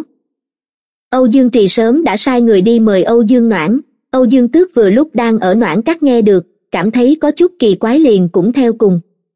Trên mặt Âu Dương Trì ngoài dự đoán lại tươi cười thân thiết, hắn nhìn Âu Dương Noãn đang còn hơi hơi kinh ngạc nói, Noãn Nhi, vị này là khách quý do Minh quận vương phái đến, nói là muốn cầu kiến con. Minh quận vương ở Kinh Đô là người chạm tay vào có thể bỏng, Noãn Nhi như thế nào lại quen biết hắn, Âu Dương Trì không biết, hắn chỉ biết rằng vô luận như thế nào mình cũng không thể với đến quý nhân như vậy, thế nhưng ngài ấy lại phái người đến, điều này làm cho hắn mơ hồ không rõ nhưng cũng rất kinh hỉ. Âu Dương noãn hành lễ với vị thiếu niên kia, nhẹ giọng nói, không biết quý nhân tìm tiểu nữ là muốn chỉ giáo điều gì. Thiếu niên kia khi nhìn thấy Âu Dương noãn cũng nhất thời kinh hãi, nữ hài tử trước mắt còn rất nhỏ, liếc mắt nhìn lại cảm thấy ni nàng như viễn sơn, môi như lụa hồng, một thân y phục đại thanh bình thường, màu trắng thuần khiết, không nhiễm hạt bụi, giờ phút này trông thấy nàng cười, đang nhìn hắn giống như một đóa hoa mơ hồ, hương thơm ngào ngạt, phong thái quyến rũ đánh thẳng vào lòng hắn. Dù là mấy năm nay đã quen nhìn mỹ nhân như oanh yến trong phủ, thế nhưng tâm hắn vẫn khẽ động, nhanh chóng cúi đầu, cung kính nói, xin hỏi người là Âu Dương gia đại tiểu thư sao? Âu Dương Noãn gật gật đầu nói, đúng vậy. Thiếu niên lại cúi đầu thi lễ đồng thời đem tráp ngọc hai tay dâng lên, nói, đây là lễ vật của Minh quận vương đưa cho người, mời ngài nhận lấy. Lễ vật Minh quận vương Âu Dương Noãn vô vùng giật mình nhìn đối phương, Minh quận vương là con cưng của đương kim Yến Vương Điện Hạ, quý công tử cao ngạo mà mọi danh môn khuê tú toàn kinh đô đều điên đảo, nàng khi nào lại quen biết người như vậy mà bản thân không hay. Suy tư một lát, nàng ý bảo Âu Dương Tước đi ra nhận lấy tráp ngọc, Âu Dương Tước đem trác ngọc mở ra, là một cặp đuôi sói trắng ngà. Âu Dương Noãn nhìn thoáng qua, càng thêm kinh ngạc, lúc này nàng nhớ lại chuyện buổi chiều, chẳng lẽ là có liên quan. Để xác minh ý nghĩ trong lòng, nàng trịnh trọng đem trác ngọc lên, hoàng lễ nói, thỉnh ngài nói cho ta biết, vì sao Minh quận vương lại tặng ta lễ vật quý như vậy. Thiếu niên cao giọng nói, quận vương nói, buổi chiều hôm nay tiểu thư đã nhịn đau bỏ thứ yêu thích đem sách cổ trân quý kia nhượng lại, tất nhiên người cũng phải có quà đáp lễ. Hắn nói rất đúng, cặp đuôi sói trắng tuyết này là lần đầu tiên Minh quận vương đi săn bắn chết Bạch Lan Vương đoạt được. Ngày thường người ngoài muốn đến xem đều không thể, đem nó đặt trong thư phòng đã năm sáu năm, không hiểu vì sao hôm nay lại muốn tặng cho một vị tiểu thư quý tộc trẻ tuổi, quả thực là không thể tưởng tượng được. Âu Dương Trì có chút hồ đồ, thấp giọng hỏi Âu Dương Tước một bên, Âu Dương Tước liền đem sự tình chiều nay giải thích một lượt, điều này làm cho Âu Dương Trì thập phần hối hận, thầm than nếu hắn ở đó, nói không chừng có thể gặp mặt Minh quận vương một lần. Âu Dương noãn mỉm cười, nói, một khi đã như vậy, vui lòng thay ta đa tạ quận vương. Tươi cười của nàng sáng tỏ như trăng rằm, làm người khác không tự chủ được mà cảm thấy quý trọng, thiếu niên gật gật đầu, nói, điều đó là đương nhiên, như vậy, xin cáo từ. Âu Dương Trì liền nói, xin dừng bước. Thiếu niên kia liền ngừng lại, quay đầu nhìn hắn, trên mặt Âu Dương Trì lộ ra tươi cười nói, Minh quận vương đã có ý tốt, ta cũng muốn đưa quà đáp lễ, mong sứ giả chuyển cho quận vương. Thiếu niên nghe xong, thần sắc trên mặt càng thêm lạnh nhạt, cất cao giọng nói, thị lan đại nhân không cần đa lễ, Minh quận vương sớm đã có phân phó, không cho phép nhận quà đáp lễ, chỉ cần đại tiểu thư nhận lấy lễ vật là được. Nói xong, ngay cả liếc cũng không thèm nhìn Âu Dương Trì một lần, đi nhanh ra cửa. Âu Dương Trì chạy nhanh ra tiễn, trong phòng khách chỉ còn lại tỷ đệ Âu Dương Noãn, tỷ tỷ, hóa ra người trong xe ngựa đó là Minh Quận Vương. Tỷ nói hắn, hắn đang nói thì Âu Dương Noãn đã đi về hướng viện mình, Âu Dương Tước kêu to, tỷ tỷ, tỷ không nghe đệ nói gì sao? Người trong hoàng tộc không nên quá thân cận, nếu đệ không sợ phụ thân trở về tiếp tục truy hỏi thì cứ ở lại đây đi. Âu Dương Noãn nhẹ giọng nói, lộ ra một nụ cười bướng bỉnh. Đúng vậy, nếu để cho phụ thân cứ cuốn lấy hắn hỏi chẳng phải sẽ phiền chết sao, Âu Dương Tước hiểu được một chút liền nhanh chân đuổi theo. Trở lại noãn cát, Hồng Ngọc cầm hộp ngọc, muốn tìm một vị trí trong phòng để đặt lên, Âu Dương Noãn nhìn thoáng qua trác ngọc kia, thản nhiên phân phó Hồng Ngọc, thu lại cất đi. Vì sao? Tiểu thư, đây là lễ vật Minh quận vương tặng cho người, đây chính là chuyện tốt mà. Các ngươi nói đây là chuyện tốt, ta lại cảm thấy chưa chắc, ta cùng vị Minh quận vương này vốn không quen biết, ngay cả mặt mũi cũng chưa từng gặp qua, vậy mà hắn lại cố ý tặng vật như vậy, chẳng phải là không duyên không cớ tạo phiền toái cho ta sao? Mặt Âu Dương noãn thoáng hiện tia sắc lạnh, người khác có lẽ cảm thấy cùng người hoàng tộc kết giao là một bước lên mây, nhưng nàng lại cảm thấy chưa chắc.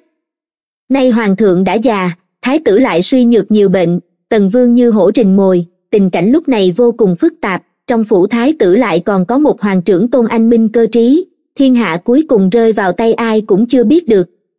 Kiếp trước lúc nàng chết đi, trong triều vẫn còn phong ba bảo táp, đấu tranh không ngớt, lúc này nhất định phải chờ, còn chưa biết là loại cục diện nào, nếu Âu Dương Trì khẩn cấp muốn định bợ người trong hoàng tộc, nếu không cẩn thận bị cuốn vào cuộc tranh đấu kia, thì đó thực sự là điều ngu xuẩn đến cực điểm.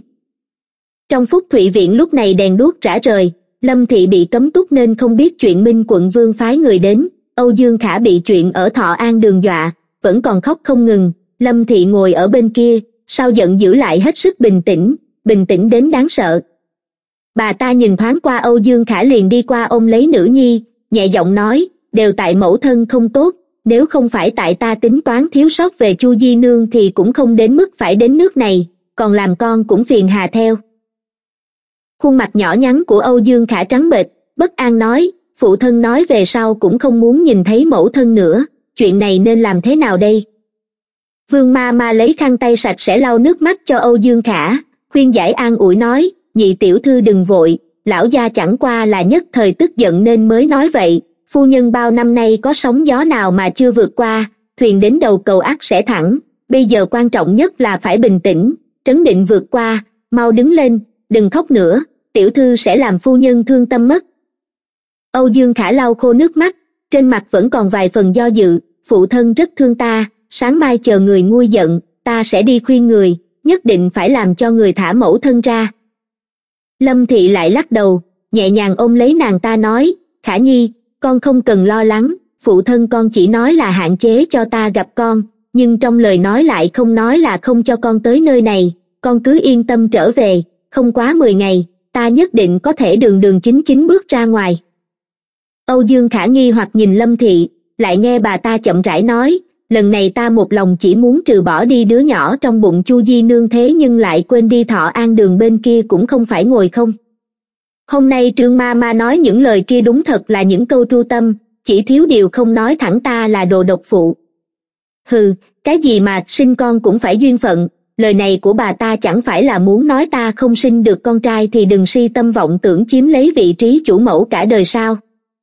Âu dương khả nghĩ nghĩ, nói, ý của mẫu thân là đây đều là ý tứ của lão thái thái. Lâm thị hừ một tiếng, trương ma ma đem những lời lão thái thái không tiện nói, làm những việc lão thái thái không tiện làm, tất cả đều làm. Lão phu nhân không thể bỏ qua thể diện để mắng ta, trương ma ma liền làm thay. Nhìn đi chuyện này vẫn còn chưa xong đâu. Âu dương khả quá sợ hãi, nếu là như thế, mẫu thân phải làm sao bây giờ? Phụ thân có phải là sẽ không bao giờ gặp mẫu thân nữa không? Lâm thị ôm nhu cười, hài tử ngốc, sợ cái gì chứ? Nước đến đất chặn, binh đến tướng đỡ, mẫu thân tất nhiên là có biện pháp lung lay phụ thân con, đứa nhỏ trong bụng chu di nương kia là tâm can bảo bối của lão gia, nếu như ông ấy nghi ngờ âu dương khả nghi hoặc nhìn chằm chằm lâm thị, mẫu thân, ý của người là? Lâm thị lại lắc đầu, nhu hòa nói, khả nhi con trở về trước đi, mẫu thân còn có việc phải thương lượng với vương ma ma. Âu dương khả mang vẻ mặt nghi ngờ rời đi, lâm thị kéo vương ma ma đến trước mặt nói, nghe nói biểu huynh bà con xa của chu di nương làm sai vặt trong phủ này, có đúng không? Vương ma ma sửng sốt, lập tức trả lời, đúng vậy phu nhân năm trước lúc người triệu kiến các quản sự cũng đã gặp qua, hắn cao, gầy tông teo, tướng mạo cũng không tồi, tên hắn là trương á sơn, người còn nói hắn làm việc thỏa đáng còn thưởng cho hắn nữa. Lâm thị lạnh lùng cười, nói, hắn sao? Ngươi có biết thu nhập của hắn là bao nhiêu? Trừ tiền lương mỗi tháng thì hắn có thêm nguồn thu nào khác không? Vương ma ma cười nói, nô tỳ theo phu nhân quản sự mấy năm nay, nhìn người cũng khá rõ ràng hắn vốn là định nương tựa nhờ vả chu di nương, đáng tiếc lại chỉ là một di nương làm gì có quyền lực an trí hắn.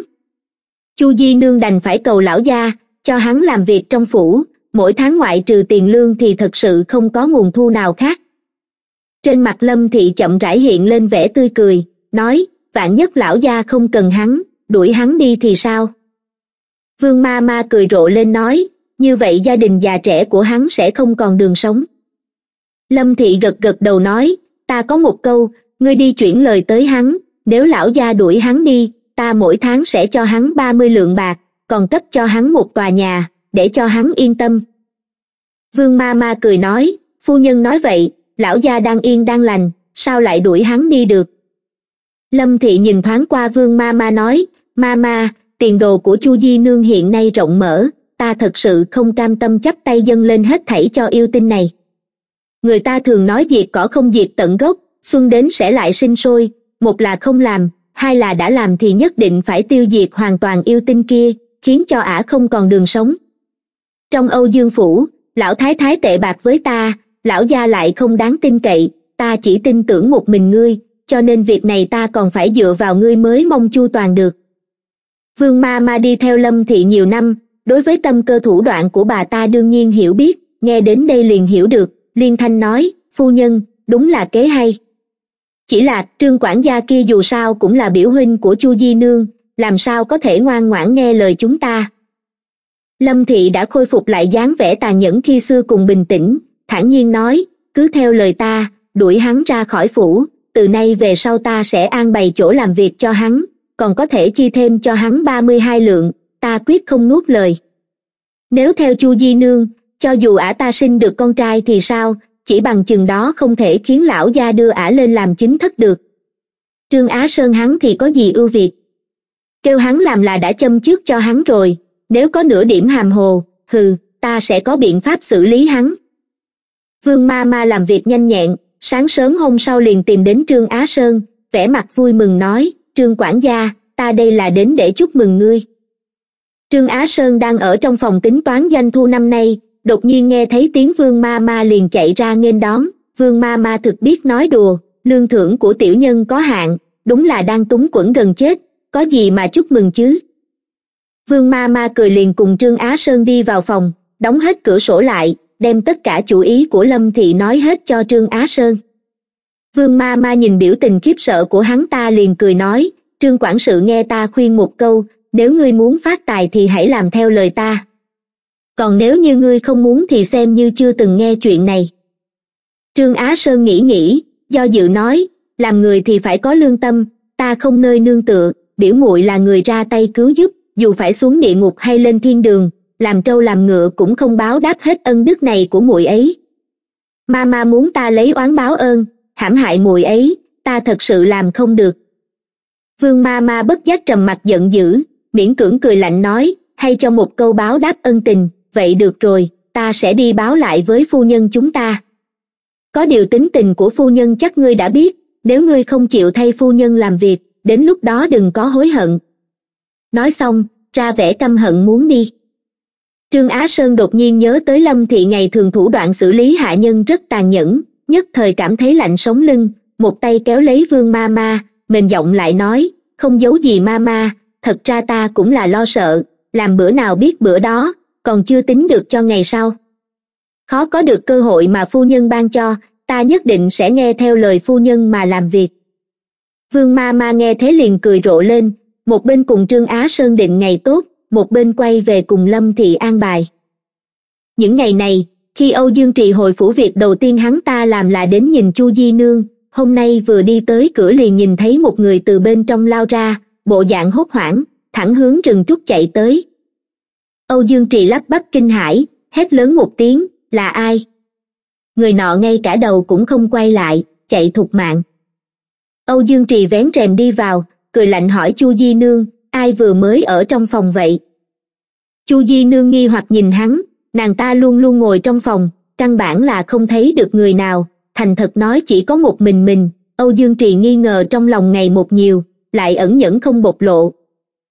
Âu Dương Trì ngẫm lại có lẽ là bản thân lòng nghi ngờ sinh quỷ ám, nếu thật sự có nam nhân từ phòng Chu Di Nương đi ra, tất nhiên đúng là do hành vi không bị kiềm chế, hắn vừa nghĩ liền một bên an ủi Chu Di Nương vài câu, thuận tay đem ly trà hướng bên giường ném tới. Chỉ nghe ba một tiếng, chạm vào trên túi đựng. Âu Dương Trì thuận tay đem túi kia qua liền nhìn thấy có một tờ giấy được cuộn tròn lại. Âu Dương Trì biết Chu Di Nương không thích thơ văn tranh họa, liền hỏi, đây là cái gì? Nói xong liền nhẹ nhàng đem bức họa kia mở ra, chăm chú nhìn vào, hóa ra là một bức chân dung, người trong bức họa không phải ai khác, chính là biểu huynh Trương Á Sơn của Chu Di Nương mà hắn đã từng gặp qua. Âu Dương Trị lúc này không khỏi tức giận, thuận tay cho Chu Di Nương mấy bạc tai, đánh đến mức mặt nàng ta đều sưng đỏ hết lên, mắng một hồi, không biết xấu hổ. Đúng là không biết xấu hổ. Âu Dương Trì cầm bức họa trong tay, mở cửa sải bước ra ngoài. Tương lai Chu Di Nương vốn đang rộng mở, còn tưởng rằng rốt cuộc cũng đã khổ tận cam lai, lại không hiểu vì sao lại bị đánh, không khỏi ngây người một lúc lâu, thầm nghĩ, sao lại kỳ lạ như vậy, bức họa kia sao lại ở trong phòng mình. Âu Dương Trì ra khỏi cửa, hướng Phúc Thụy Viện bước tới. Lâm Thị cũng không có nghỉ ngơi, thắp đèn sáng rực, mặt mày hớn hở, mỉm cười tiếp đón. Sắc mặt Âu Dương Trì vẫn rất giận dữ, đem bức họa kia ném lên bàn. Lâm Thị cầm lên xem, ra vẻ kỳ quái hỏi, lão gia sao lại đến đây giờ này? Đây là cái gì? Âu Dương Trì nổi giận đùng đùng đem chuyện kia nói lại một lần. Lâm Thị cả kinh nói, ai gia, sao lão gia lại biết được việc này? Ai, người trăm ngàn lần đừng làm cho bản thân tức giận, việc này trong lòng thiếp cũng từng nghi ngờ, chẳng qua là không có chứng cớ, thật sự là không thể tưởng tượng được. Âu Dương Trì vội la lên, ngươi đã sớm biết sao lại không nói. Lâm Thị cười khổ, lão gia của thiếp, Chu Di Nương là người thượng thư đại nhân mang qua, không có chứng cứ sao buộc tội được. Thiếp đã sớm nghi ngờ đứa nhỏ kia lai lịch không rõ, chỉ tiếc là lão thái thái, lão gia đều chỉ cảm thấy là thiếp chỉ đang tranh giành sủng ái, hiện tại cũng đã biết được là thiếp có nỗi khổ tâm. Âu Dương Trì nhìn Lâm Thị nỉ non, thúc thiếp, cảm thấy tức giận vô cùng, trực giác nói rằng đứa nhỏ kia không phải của mình, liền cho rằng việc Lâm Thị làm hại nó cũng là điều đương nhiên, bỏ qua chuyện mình đang cấm chừng bà ta, trực tiếp hỏi, bây giờ nên làm thế nào?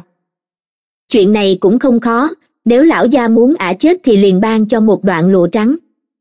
Nếu như lão gia ngại việc ả ta do ai đưa đến mà giữ lại mạng sống, chỉ sợ giữ bên người cũng là mầm tai họa. vậy nên người phải nhanh chóng quyết đoán sợ rằng nếu để ngày mai lão gia nhìn thấy lại mềm lòng, như vậy càng khó khăn hơn. Huống hồ nếu để lão thái thái biết được, vẫn còn tin đứa nhỏ kia là của lão gia, chỉ sợ lão gia có nói ả ta hồng hạnh vượt tường thì lão thái thái cũng sẽ nghĩ thiếp không cam lòng mà xúi dục làm hại ở giữa. Lâm thị không nhanh không chậm nói. Âu dương trì nghiến răng nói, nếu không phải vì sợ huyên náo làm mọi người biết thì ta đã sớm đánh chết ả rồi. Càng nghĩ càng giận, hừ nếu không giết được chúng thì không hả được mối hận trong lòng ta. Âu dương trì nổi giận đùng đùng mang lâm thị cùng đến hà hương viện của chu di nương, đi qua hoa viên đụng phải âu dương noãn cùng lý di nương mới đi thỉnh an ở thọ an đường về. Lý di nương nhìn thấy âu dương trì thì vội vàng hành lễ, đến khi nhìn thấy được người bên cạnh âu dương trì liền cả kinh, lỡ lời nói, phu nhân. Lời vừa ra khỏi miệng liền biết mình mới lỡ lời, không tự giác được nhìn thoáng qua âu dương noãn lại thấy âu dương noãn ngay cả mày cũng không động một chút, ngược lại làm như vui sướng tiến lên thỉnh an, phụ thân, mẫu thân, hai người đi đâu vậy? Âu dương trì đang tức giận, hừ lạnh một tiếng rồi mang người đi.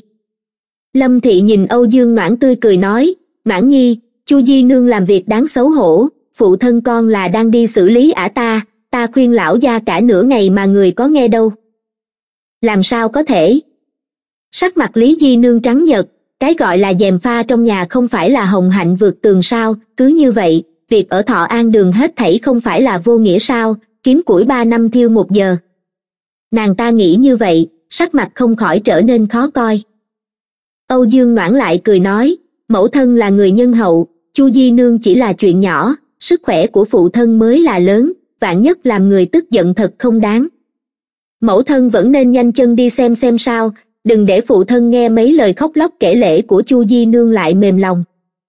Lâm thị nghe vậy liền sửng sốt, thầm nghĩ tiểu nha đầu này tâm cơ lại thâm sâu như vậy, đáng tiếc là không thể để chu di nương có cơ hội khóc lóc kể lễ nghĩ đến đây, bà ta lạnh lùng cười rồi xoay người bước đi. Lý di nương nhìn theo bóng dáng lâm thị, sắc mặt càng thêm khó coi, không tự chủ nhìn âu dương noãn, đại tiểu thư.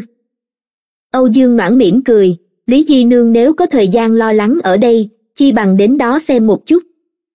Lý nguyệt nga trong lòng thập phần không yên, cẩn thận nói, đại tiểu thư, người không đi cùng sao? Ánh sáng trong mắt âu dương noãn lưu chuyển, dường như đoán được tâm tư bình thường của lý di nương, thản nhiên nói, lẽ ra chuyện hậu viện của phụ thân ta không nên can dự, nhưng chu di nương là do bề trên của phụ thân ban tặng, sợ người nhất thời tức giận mà xử lý không thấu đáo, thôi được rồi ta đi cùng di nương đến đó xem sao. Phương ma ma cùng hồng ngọc liếc mắt nhìn nhau một cái, trong lòng không khỏi thầm than một tiếng, đại tiểu thư đúng là quá hiểu lâm thị, ngay cả việc bà ta sẽ có hành động sớm cũng đã dự liệu được, chỉ là việc này đúng là khó xử lý, một khi chu di nương thật sự là hồng hạnh vượt tường, chủ mẫu xử lý nàng ta như thế nào cũng là hợp lý, như vậy lâm thị chẳng phải là sẽ thoát tội sao?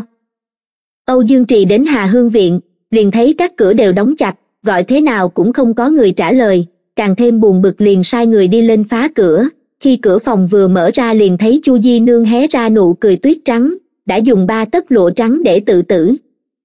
Âu dương trì nhìn thấy liền sửng sốt, nhanh chân sai người cởi khăn trắng trên cổ nàng ta xuống, ốm tới bên giường. Thế nhưng cả người chu di nương đã sớm lạnh băng, không còn hơi thở. Mọi người vốn là đến để hung hăng xử lý chu di nương, thế nhưng nhìn thấy cảnh này liền hoảng loạn có người nói với âu dương trì phải đi bẩm báo lão thái thái. Lâm thị liếc mắt với vương ma ma, bà ta liền ngăn cản người đó, lạnh lùng nói, cái này chính là sợ tội tự sát, chỉ là một di nương mà dám tìm đến cái chết ngay trong phủ, quả nhiên là đồ không biết quy củ, cho ả ta vài đồng tiền coi như khâm liệm đi. Sợ tội tự sát, bốn chữ này đã nhắc nhở cho âu dương trì, sắc mặt hắn ta từ trắng chuyển sang xanh, không có ai để phát tác, một hơi nghẹn cứng ở ngực không thở được lúc này, âu dương noãn đã cùng lý di nương bước vào cửa, nhìn thấy cảnh tượng bên trong liền hiểu rõ, âu dương noãn cũng đã nghe được bốn chữ sợ tội tự sát, trong lòng cười lạnh, chu di nương ngay cả một câu biện bạch cũng không nói được liền chết đi như vậy, chỉ sợ lâm thị đã phái người động tay động chân, vì lợi ích của bản thân không tiếc giết liền hai mạng người, quả nhiên là lòng dạ độc ác. Nàng khẽ nói với lý di nương, lý di nương di nương cùng chu di nương vẫn luôn có quan hệ tốt thấy nàng ta như vậy di nương cũng nên vì nàng ta mà khóc đi Lý Di Nương vẫn còn đang kinh hãi vì nhìn thấy cảnh tượng đó, lúc này nghe thấy lời Âu Dương Noãn nói liền ngẩng mặt lên nhìn, nhìn thấy mặt nàng vẫn bình thường nhưng trong mắt đã hiện lên một loại lạnh lùng thấu xương. Nàng ta không tự chủ được trùng mình một cái tỉnh táo lại, đúng vậy, không thể để Lâm Thị xác định tội danh cho Chu Di Nương được. Lý Di Nương hạ quyết tâm, không hề chần chờ, phá cửa đi vào, nhìn thấy Chu Di Nương liền ai oán khóc lên, Chu Di Nương, tỷ là người thông minh, nếu quả thực tỷ làm ra việc như vậy thì liền nhắm mắt an nghỉ. Còn nếu như là người khác vu oan, tỷ hãy hiển linh, lão gia nhất định sẽ làm chủ cho tỷ. Chu Di Nương sắc mặt trắng bệch, đôi mắt mở thật to, chính là bộ dáng chết không nhắm mắt. Lý Di Nương ngã xuống khóc trống lên. Lâm Thị biết rõ là trong lời có ý, trên mặt lạnh lùng cười nói, Lý Di Nương sao lại nói như vậy, sao lại nói là người khác quan uổng cho nàng ta, nếu như nàng ta là người ngay thẳng, sao lại để lão gia thấy trương quản sự đi từ trong phòng ra. Đã thế lại không đợi lão gia đến xử lý liền tự sát như vậy. Lý Di Nương cũng không để ý tới, chỉ ai oán khóc, Chu Di Nương ơi Chu Di Nương, tâm địa tỷ vẫn luôn tốt, đáng tiếc thân phận chỉ là một Di Nương nhỏ bé, làm sao dám giúp người thân mình làm việc gì, thế nhưng bây giờ tỷ lại bị người ta hãm hại như thế này. Nếu tỷ có gì khó xử thì cứ đến nói cùng ta, khó khăn thế nào ta cũng cố thay ngươi sắp xếp, tại sao lại lấy cái chết để chứng minh, như vậy còn ai có thể giải oan cho ngươi. Lâm Thị làm sao có thể để nàng ta tùy ý biến từ sợ tội tự sát thành lấy cái chết chứng minh trong sạch chứ, bà ta liền nhướng mày lạnh lùng nói, Lý Di Nương, ngươi ở đây ăn nói bậy bạ cái gì, ngươi xem lão gia là loại người gì, chẳng lẽ lão gia oan uổng nàng ta sao? Lý Di Nương xoay người trợn mắt há mồm nhìn Âu Dương Trì, trong mắt hàm chứa bi phẫn nói, lão gia, vừa rồi phu nhân nói Chu Di Nương hồng hạnh vượt tường, người cũng không ngẫm lại sao, Chu Di Nương làm sao cùng với trương quản sự được, nhân phẩm thường ngày vẫn tốt, hay là vấn đề tiền bạc. Thiếp tuy rằng vào phủ chưa lâu, thế nhưng vẫn biết Chu Di Nương xưa nay là người hiểu quy củ, nhất là việc tỷ ấy vẫn luôn một lòng một dạ với lão gia, khẳng định không có ý gì khác. Nữ nhân như Chu Di Nương sợ nhất là bị người ta vu oan nhân phẩm, người lại tin tưởng đứa nhỏ trong bụng không phải là cốt nhục Âu Dương gia, như vậy không phải là bức chết tỷ ấy sao? Thiếp còn có một câu, nếu như Chu Di Nương đúng là dâm phụ, nàng ta chắc chắn sẽ không muốn chết. Thế nhưng, bây giờ nàng ta đang nằm đó, cho thấy lòng nàng bi thương, có thể tin tưởng nàng ta hoàn toàn trong sạch, chỉ đáng thương là tỷ ấy đã chết, cho dù có trong sạch, cũng có tác dụng gì nữa đâu. Âu Dương Trì nghe nàng ta nói, nhất thời nghi ngờ nổi lên, hết nhìn vẻ mặt đầy giận dữ của Lâm Thị cùng dáng vẻ khóc lóc không dứt của Lý Di Nương, thật sự không biết là ai đang nói thật ai đang giả dối, xưa nay hắn ở trong quan trường luôn quyết đoán nay lại bị chuyện nhà làm cho mơ hồ, thế nhưng hắn ta vẫn không nói một lời.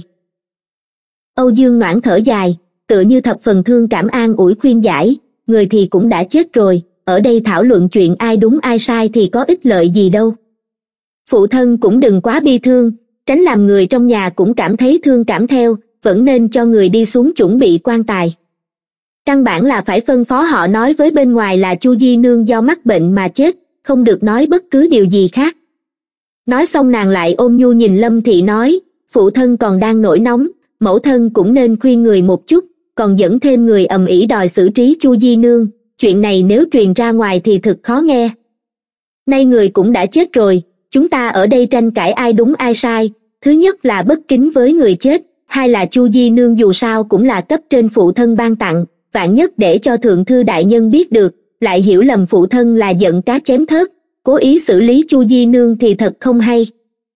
Âu Dương Trì bị mấy câu nói vô cùng đơn giản này làm cho kinh hãi, hắn thực sự là rất chờ đợi đứa nhỏ trong bụng Chu Di Nương, cho nên ngay khi vừa biết được đứa nhỏ này có khả năng không phải là huyết mạch Âu Dương gia thì cảm thấy hết sức phẫn nộ, làm sao có thể nhớ được nàng ta là do Thượng Thư Đại Nhân ban tặng chứ. Mặc dù nếu thật sự nàng ta có cái gì không ổn thì chỉ cần lặng lẽ xử lý là được, thế nhưng bây giờ lại bức người ta chết như thế này, nếu như truyền đến tai Thượng Thư Đại Nhân há chẳng phải sẽ nghĩ là mình có điều bất mãn với ông ta nên mới cố ý xử lý người mà ông ta ban tặng sao. Vừa nghĩ đến đây, sau lưng hắn đã chảy mồ hôi lạnh, nhìn Lâm Thị người vẫn luôn xúi dục hắn đi xử lý Chu Di Nương tức giận nói, ngươi vì sao lại không khuyên ta? Có chuyện gì thì cũng không nên nháo đến mức này. Lâm Thị không nghĩ tới tình thế lại bị xoay chuyển đột ngột như vậy, bà ta đã hao tổn biết bao tâm tư mới trừ bỏ được chu di nương vốn tưởng rằng âu dương trì có thể tin tưởng mình lúc trước sở tác sở vi là vì tận trung với âu dương gia ai biết được lại bị mấy câu nói vừa rồi của âu dương noãn đánh gãy mặc kệ là chu di nương có hồng hạnh vượt tường thật hay không, bản thân mình ngược lại bị gán tội danh làm ảnh hưởng đến thanh danh của lão gia. Bà ta há mồm muốn cãi lại, rốt cuộc vẫn phải đè nén xuống, giọng điệu nhẫn nại, lão gia, là thiếp nhất thời nóng vội nên không chú ý, lão gia yên tâm, hậu sự của chu di nương thiếp sẽ lo chu toàn, tuyệt đối không để sự tình có cơ hội rơi vào tai thượng thư đại nhân. Không cần, ngươi lo cho bản thân trước đi chuyện này giao lại cho lý di nương giải quyết. Âu dương trì đã phiền não đến cực điểm, phất tay áo xoay người bỏ đi. Trong lòng lý di nương vui vẻ, đối với âu dương noãn có vài phần bội phục, bản thân mình khóc lóc kể lễ cả nửa ngày mà âu dương trì vẫn không hề động dung, vậy mà nàng chỉ cần nói hai ba câu lại làm cho lão gia lập tức thay đổi chủ ý, quả nhiên là nhân vật lợi hại. Lâm thị nhìn âu dương trì dứt khoát bỏ đi, chỉ cảm thấy lần này tính kế đã uổng công quả thực là tức giận đến cực điểm, khí huyết không lưu thông, trước mắt một mảng tối đen, vào lúc bà ta sắp ngất xỉu liền được một đôi tay mềm nhẹ khéo léo đỡ lấy, dịu dàng nói, mẫu thân, bên ngoài gió lớn, người vẫn nên về nghỉ ngơi trước đi, ở đây đã có lý di nương, người yên tâm đi, không loạn được đâu.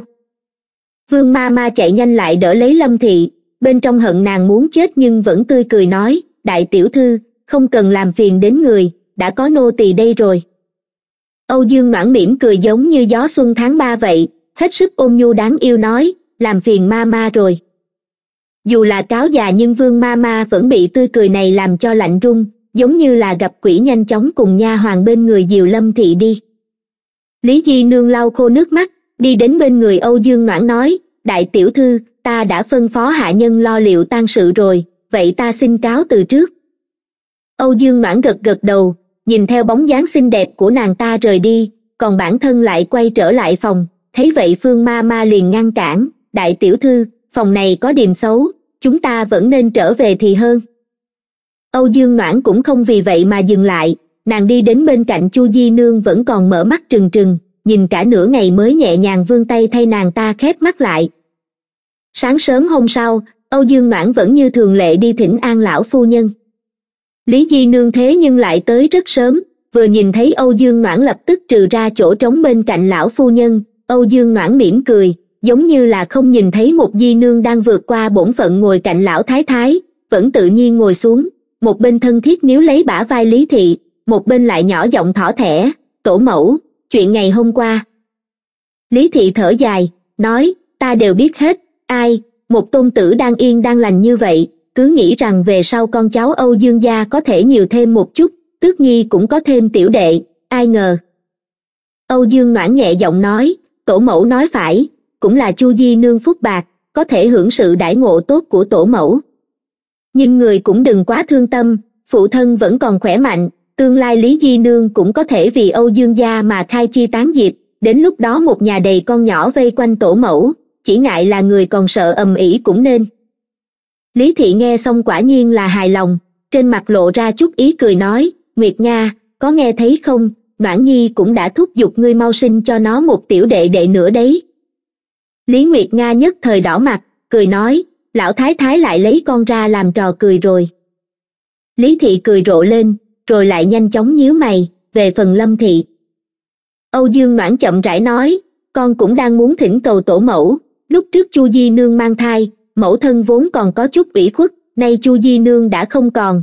Chuyện lần này coi như xong đi, nếu cứ tiếp tục truy cứu, chỉ sợ gia đình sẽ không yên, lại còn ảnh hưởng đến thanh danh của phụ thân.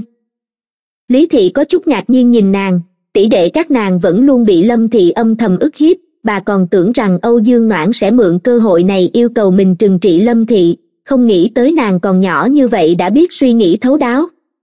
Trong lòng lý thị không khỏi dâng lên một cổ vừa ý kỳ thật bà cũng không tính nghiêm trị lâm thị tuy rằng nàng ta chỉ là thứ nữ hầu phủ nhưng lại có huynh ruột làm binh bộ thượng thư ở trong triều vạn nhất thật sự phải dùng đến gia pháp cũng sẽ khó ăn nói với hầu phủ. Trong phủ này ngoài con ra thì không có ai hiểu biết được như thế. Lão thái thái cười vỗ vỗ tay nàng giữ nàng lại cùng dùng bữa sáng. Lý di nương đứng ở một bên thỉnh thoảng gấp thức ăn cho Lý Thị cùng Âu Dương Noãn, không khí đúng là thập phần hòa hợp. Đang ăn thì nha đầu Ngọc Mai bỗng nhiên tiến vào bẩm báo, lão thái thái, trấn quốc hầu phủ tới. Lý Thị ngẩng đầu, là ai? Nghĩ nghĩ một chút liền cảm thấy không ổn, lập tức nói, nhanh mời vào. Lúc này một dáng người trung niên cao gầy, mặt hơi dài, mặt phúc sức lông chồn màu trắng điểm hoa lan, áo choàng ngắn màu xanh khoác bên ngoài tiến vào thỉnh an. Âu Dương Noãn nhìn bà, chậm rãi đứng lên, trong chốc lát, tươi cười của nàng là phát ra từ nội tâm, đổ ma ma. Nhưng rất nhanh tươi cười của nàng liền dịu xuống, đổ ma ma là người thân cận bên cạnh ngoại tổ mẫu nhất, tự nhiên sẽ không vô duyên vô cớ đến đây, nhất định là trấn quốc hầu phủ đã xảy ra chuyện gì rồi. Âu Dương Noãn thành thật nhìn Lý Thị, rồi bước qua bàn ăn, đi đến bên cạnh Đỗ Ma Ma, chậm rãi nói, Đỗ Ma Ma, sao ngươi lại tới đây? Đỗ Ma Ma nhìn Âu Dương Noãn một cái, cũng không trả lời, hướng Lý Thị thi lễ, sau mới cung kính nói, thỉnh an lão thái thái. Lý Thị mỉm cười, khách khí hai câu, tiếp theo phân phó Trương Ma Ma dọn chỗ châm trà. Đỗ Ma Ma nhún nhường không dám ngồi, sau hướng Lý Thị nói, lão thái thái, hôm nay nô tỳ đến đây, trước hết là do lại thái quân phái đến hỏi thăm lão thái thái, hai là bà quay đầu nhìn Âu Dương Noãn một cái rồi nói, thứ hai là ngũ thiếu gia hầu phủ vừa mới qua đời, muốn mời biểu tiểu thư qua đó một chuyến. Ngũ thiếu gia Đó không phải là con cậu ruột trấn quốc hầu lâm phong của nàng sao? Trong lòng Âu Dương Noãn căng thẳng, quay đầu nhìn Lý Thị còn mang theo vài phần khẩn cầu, tổ mẫu. Lý Thị hiển nhiên cũng rất kinh ngạc, trầm ngâm nói, một khi đã như vậy, con trước hết cứ theo đổ ma ma đến chỗ lão thái quân cùng đại phu nhân đi. Bây giờ chắc họ đều đang bi thương, con nên khuyên nhủ nhiều một chút, về phần phụ thân con ta sẽ từ từ nói với nó. Đa tạ tổ mẫu. Âu Dương Noãn cúi đầu hành lễ. Lúc đi ra, bước chân Âu Dương Noãn có chút loạn choạng, tươi cười cũng dần biến mất, đến khi hoàn toàn ra khỏi thọ an đường, mới thấp giọng hỏi đổ ma ma, ngoại tổ mẫu cùng đại cửu mẫu vẫn tốt chứ? Đỗ ma ma tươi cười tuy rằng vẫn như cũ nhưng Âu Dương Noãn lại thấy có một chút miễn cưỡng, nàng liền đến gần một chút, nhẹ nhàng nắm lấy tay Đỗ ma ma, Đỗ ma ma, có chuyện gì cũng không cần gấp, cứ từ từ mà nói. Đỗ ma ma cảm giác được lo lắng trong lòng nàng truyền qua từ bàn tay, vô hình chung tinh thần cũng phấn chấn lên nhiều, liền nói, biểu tiểu thư cũng biết, lão thái quân tuổi đã lớn, thân thể không tốt, vẫn luôn ở trong phủ điều dưỡng. Đêm hôm qua ngũ thiếu gia đột ngột qua đời, đại phu nhân khóc ròng một đêm cũng đã ngã bệnh, đến bây giờ vẫn không ai dám nói cho lão thái quân biết. Biểu tiểu thư, lão thái quân vẫn luôn để người trong lòng, luôn luôn yêu thương tiểu thư, đợi người đến đó, lão thái quân gặp được sẽ rất vui, thân thể tốt lên một chút, đến lúc đó nô tỳ sẽ tìm cơ hội nói với lão thái quân chuyện này. Âu Dương Noãn gật gật đầu, đổ ma ma, ngươi yên tâm, ta nhất định sẽ cố gắng làm lão thái quân vui vẻ, dưỡng bệnh thật tốt. Đỗ ma ma nhìn Âu Dương Noãn, vui mừng nói, biểu tiểu thư đã trưởng thành thật rồi, lúc còn nhỏ tiểu thư không thích đến hầu phủ, còn nói hầu phủ nhiều quy củ, chơi sẽ không vui. Âu Dương Noãn cười nhẹ, đỗ ma ma, lúc trước là do Noãn Nhi không hiểu chuyện, nhất định đã làm cho ngoại tổ mẫu thương tâm. Đỗ ma ma vỗ vỗ tay nàng, nhẹ giọng nói, lão thái quân sẽ không trách người. Trấn quốc hầu phủ là một tập thể kiến trúc khổng lồ, cơ hồ chiếm đi hơn nửa đường cái, bên cạnh có không ít quan viên phủ đệ, chỉ là so sánh với hầu phủ vẫn còn kém xa. Xe ngựa tới hầu phủ thế nhưng không vào cửa chính mà đi đến cửa phụ phía tây thì dừng lại. Sa phu chống đỡ càng xe, lập tức thay người kéo xe thành sáu gã sai vặt nâng kiệu lên. Đi thẳng một hồi thì dừng lại ở một cánh cửa thùy hoa. Mấy gã sai vặt liền lui về sau, một ma ma nhẹ nâng mành xe lên ôn hòa nói, biểu tiểu thư, mời. Hồng Ngọc lên tiếng, được, rồi muốn bước xuống xe, ma ma nhanh chóng đem cái ghế nhỏ, Hồng Ngọc dẫm lên ghế con bước xuống, sau đó xoay người đỡ lấy Âu Dương Noãn, lúc này đổ ma ma đã từ phía sau xe bước xuống. Bà dẫn các nàng đi lên cầu thang rồi đi qua một hành lang dài, hai bên đều có nha hoàng đứng nín thở khoanh tay cúi đầu theo quy củ. Thấy Âu Dương Noãn đi cùng đổ ma ma, bọn nha hoàng đồng loạt hành lễ.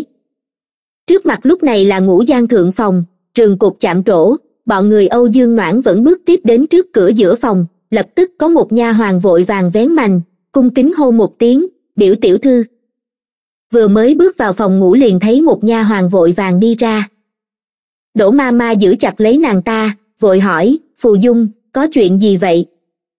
Phù dung mặt mày tái nhợt nghiêm mặt trả lời lão thái quân lão thái quân té xỉu nô tỳ đang đi mời đại phu. Đỗ ma ma thoáng chốc liền không còn huyết sắc rất nhanh đi vào bên trong, âu dương noãn nhíu mày, gắt gao bước vội theo. Một bên giường lớn là chậu nước, khăn tay, bọn nha hoàng tuy rằng đều làm gọn gàng ngăn nắp nhưng trên mặt đều lộ ra thần sắc ngưng trọng. Trong gian phòng một tiểu nha hoàng quay đầu nhìn thì thấy đỗ ma ma tựa như nhìn thấy cứu tinh liền lo lắng chào hỏi, đỗ ma ma, người đã quay trở lại rồi. Nói xong nước mắt liền rơi xuống, lão thái quân vừa mới nghe được tin ngũ thiếu gia không còn nữa liền té xỉu gọi thế nào cũng không tỉnh, nô tỳ đã sai người đi mời đại phu rồi. Tiếp theo nhìn thấy âu dương noãn liền vội vàng hành lễ. Âu dương noãn chạy nhanh đến bên giường, chỉ thấy búi tóc của trữ thái quân rối loạn, hai mắt nhắm nghiền, sắc mặt tái nhợt, trên trán đổ đầy mồ hôi, đã hôn mê không biết gì. Ngoại tổ mẫu. Âu dương noãn ở bên cạnh nhẹ giọng kêu lên, lão thái quân một chút phản ứng cũng không có, đổ ma ma quay đầu đi, nước mắt lã chả rơi âu dương noãn quay mạnh đầu, trong mắt chứa toàn hàng ý lãnh khốc, ai? Là ai đã nói tin này với lão thái quân? Mọi người không tự chủ được đều nhìn về một nha hoàng đang đứng cách đó không xa, nha hoàng kia vội quỳ mạnh xuống nền nhà, sắc mặt thất kinh nói, biểu tiểu thư, là tại nô tỳ lỡ miệng. Đỗ ma ma tức giận nhìn chằm chằm nàng ta, một tê, ngươi thật to gan. Âu dương noãn nhìn chằm chằm nàng ta làm một tê không tự chủ được mà cúi đầu nàng cười lạnh một tiếng, nói, đỗ ma ma, ta nhớ rõ nha đầu ở vinh hy đường luôn luôn hiểu biết quy củ, từ khi nào lại trở nên như vậy? Đỗ ma ma nói, biểu tiểu thư nói phải. Bà phất phất tay, lập tức có mấy ma ma làm việc nặng tiến lên bắt một tê đi, nàng ta còn muốn dãy dụa lại nhìn thấy ánh mắt lạnh như băng của âu dương noãn, không tự chủ được trùng mình một cái, không dám nói gì nữa đành để yên cho người khác lôi đi. Không bao lâu phù dung dẫn vào một người ước chừng hơn năm mươi tuổi tiến vào, dáng người bình thường, tướng mạo đoan chính, biểu cảm nghiêm túc, trên cằm có hai chòm râu dài. Lưu đại phu đi đến bên giường, bắt mạch cho lão thái quân, lại bảo nha hoàng hé miệng người ra để xem lưỡi sắt. Tiếp theo trầm ngâm một hồi liền quay đầu kêu dược đồng phía sau đem hồng thuốc tùy thân mở ra lấy ngân châm, rồi hơ tiêu độc trên ngọn lửa, rồi lại châm lên mấy huyệt vị trên người lão thái quân.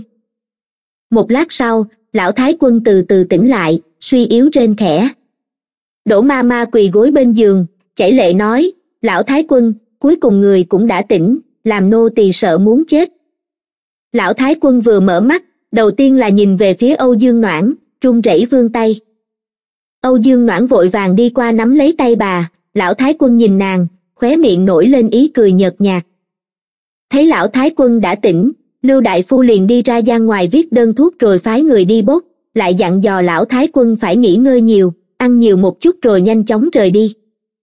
Lão thái quân gắt gao nắm chặt lấy tay âu dương noãn, cảm nhận nhiệt độ từ lòng bàn tay nàng, lại cẩn thận nhìn mặt nàng. Âu dương noãn có một đôi lông mày lá liễu, lông mi cong vút cái mũi thẳng thanh tú, ánh mắt trong suốt sáng ngời, gương mặt vô cùng thanh tú và bình an, bà không tự chủ được nhẹ giọng kêu, thanh nha đầu biết lão thái quân đang gọi mẫu thân mình, trong lòng âu dương noãn hiện lên một chút bi thương, ôn nhu nói, là noãn nhi, ngoại tổ mẫu. Lão thái quân sửng sốt, miễn cưỡng cười cười, nước mắt lại rơi xuống. Qua hồi lâu, trữ lão thái quân mới ngồi dậy dựa trên giường, âu dương noãn ở một bên cho bà uống nước, một bên nhỏ giọng dặn dò, ngoại tổ mẫu, cẩn thận một chút, coi chừng sạch lão thái quân cười cười, sắc mặt nhu hòa, sao con lại tới đây? Âu dương noãn điềm tĩnh ôn hòa cười, nói, con đến thăm ngoại tổ mẫu. Lão thái quân sờ sờ xiêm y nàng, nói, sao lại ăn mặc phong phanh như vậy? Đổ ma ma, đi lấy áo choàng lông hồ ly đỏ thẫm kia lại đây. Đỗ ma ma vâng lời rời đi, âu dương noãn giật mình, ngoại tổ mẫu cũng không thích mặc đồ rực rỡ, nàng đoán nhất định là đồ mà mẫu thân khi chưa lấy chồng thường mặc, trong mắt không tự chủ được mà ẩm ướt, nói, ngoại tổ mẫu trên đời này chỉ có người là tốt với con nhất. Sắc mặt lão thái quân càng thêm nhu hòa, nói, hài tử ngốc. Lúc này, chợt nghe thấy một trận tiếng động lớn xôn xao từ gian ngoài. Nha đầu lục ngạc tiến vào bẩm báo, sắc mặt trầm trầm nói, lão thái quân, nhị lão gia, tam lão gia, nhị phu nhân, tam phu nhân cùng các vị tiểu thư thiếu gia đang đứng bên ngoài, nói là muốn vấn an lão thái quân. Vấn an? Nhị cửu cửu lâm văn uyên là huynh ruột của lâm thị, hiện tại binh bộ thượng thư. Nhị cửu mẫu là tương thị xuất thân nhà giàu ở sơn tây, nhưng cũng chỉ là thứ nữ. Tam cửu cửu lâm văn bồi cũng không làm quan chức gì, thường ngày yêu thích du ngoạn nhân gian. Tam cửu mẫu xuất thân từ giang nam tứ đại cự cổ chi nhất mạnh gia, giỏi nhất là tính toán tỉ mỉ. Hai người cậu này đều không phải là thân sinh của lão thái quân, ngày thường cũng không thấy hiếu thuận nhiều lắm hiện tại nghe nói con trai thân sinh của đại cửu cửu đã không còn, lại thập phần mong đợi cùng đi đến đây. Đại cửu cửu tuy rằng chính trực, nhưng bản chất lại yếu đuối. Lâm văn uyên mơ ước vị trí trấn quốc hầu này từ lâu nhưng còn ngại lão thái quân vẫn luôn chống đỡ trong phủ. Nếu bọn họ nhìn thấy lão thái quân ngã bệnh chắc chắn sẽ có hành động. Âu dương noãn nghĩ vậy nhưng trên mặt lại phấn khởi tươi cười. Nhớ mày nói với lão thái quân, ngoại tổ mẫu, con đã lâu không gặp các cậu mợ để con ra ngoài xem sao. Trữ lão thái quân lắc đầu, nói, nha đầu ngốc, bọn họ là vì ta mà đến, không thấy được ta thì sẽ không chịu đi. Phù dung, mau đỡ ta dậy. Phù dung vội vàng tiến lên dìu lão thái quân, người còn chưa đứng lên đã ho khan mãnh liệt. Âu dương noãn thấy vậy liền ngăn lại, nói, ngoại tổ mẫu, để noãn nhi ra xem lão thái quân nhìn vào ánh mắt âu dương noãn liền thấy một ánh mắt kiên định cùng lãnh ý chưa từng thấy qua. Bà hơi chấn động nhưng âu dương noãn đã vỗ vỗ tay trấn an, nhìn phù dung nói, chăm sóc cho ngoại tổ mẫu ta. Nói xong nàng liền mang theo hồng ngọc cùng phương ma ma chậm rãi đi ra bên ngoài. Mới vừa đi đến giữa nhà, nàng đã nhìn thấy một nhóm tám người đang tiến vào, đi đầu là nhị cửu cửu lâm văn uyên, tam cửu cửu đi sau nửa bước, còn những người khác đều theo phía sau noãn nhi thỉnh an hai vị cửu cửu cùng cửu mẫu. Âu dương noãn ôn nhu tươi cười nói. Lâm văn uyên lắp bắp kinh hãi, thế nhưng rất nhanh đã lấy lại tinh thần, thân thiết nói noãn nhi, sao con lại ở đây? Sao lại không báo cho chúng ta biết? Nhị cửu mẫu tương thị thường ngày thập phần đoan chính thanh nhã, lúc này đã tiến lên nói noãn nhi chắc là nghe được tin tức nên mới đến thăm lão thái quân, nói vậy lúc này chắc là người cũng đang rất thương tâm chúng ta nhanh vào an ủi khuyên giải người tốt một chút. Khuyên giải, an ủi. Các người biết ngũ thiếu gia của đại phòng không còn, lão thái thái khẳng định là đang thương tâm, lại chuẩn bị sát muối vào miệng vết thương của bà, làm người hoàn toàn suy sụp. Trong lòng âu dương noãn cười lạnh thế nhưng trên mặt lại rất ngọt ngào nói, khó trách mẫu thân vẫn thường nói nhị cửu cửu cùng nhị cửu mẫu vẫn luôn hiếu thuận, biết lão thái quân thương tâm liền cố ý qua thăm, chỉ là hôm nay thật không đúng lúc lão thái quân vừa mới ngủ, các vị vẫn nên quay về trước đi.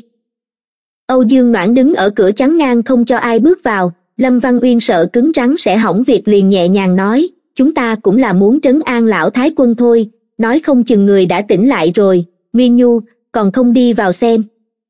Lâm nguyên như từ trong đám người bước ra, nàng ta mặc váy ngân bạch dài, áo khoác ngoài làm từ gấm vóc màu hồng, ở cổ còn có một lớp lông hồ ly tuyết trắng nàng ta là nữ nhi của lâm văn uyên cùng tương thị, lớn hơn âu dương noãn một tuổi. Nàng ta bước đến đứng ngay bậc thang trước mặt âu dương noãn nói, biểu muội noãn nhi, tỷ muốn vào thăm lão thái quân.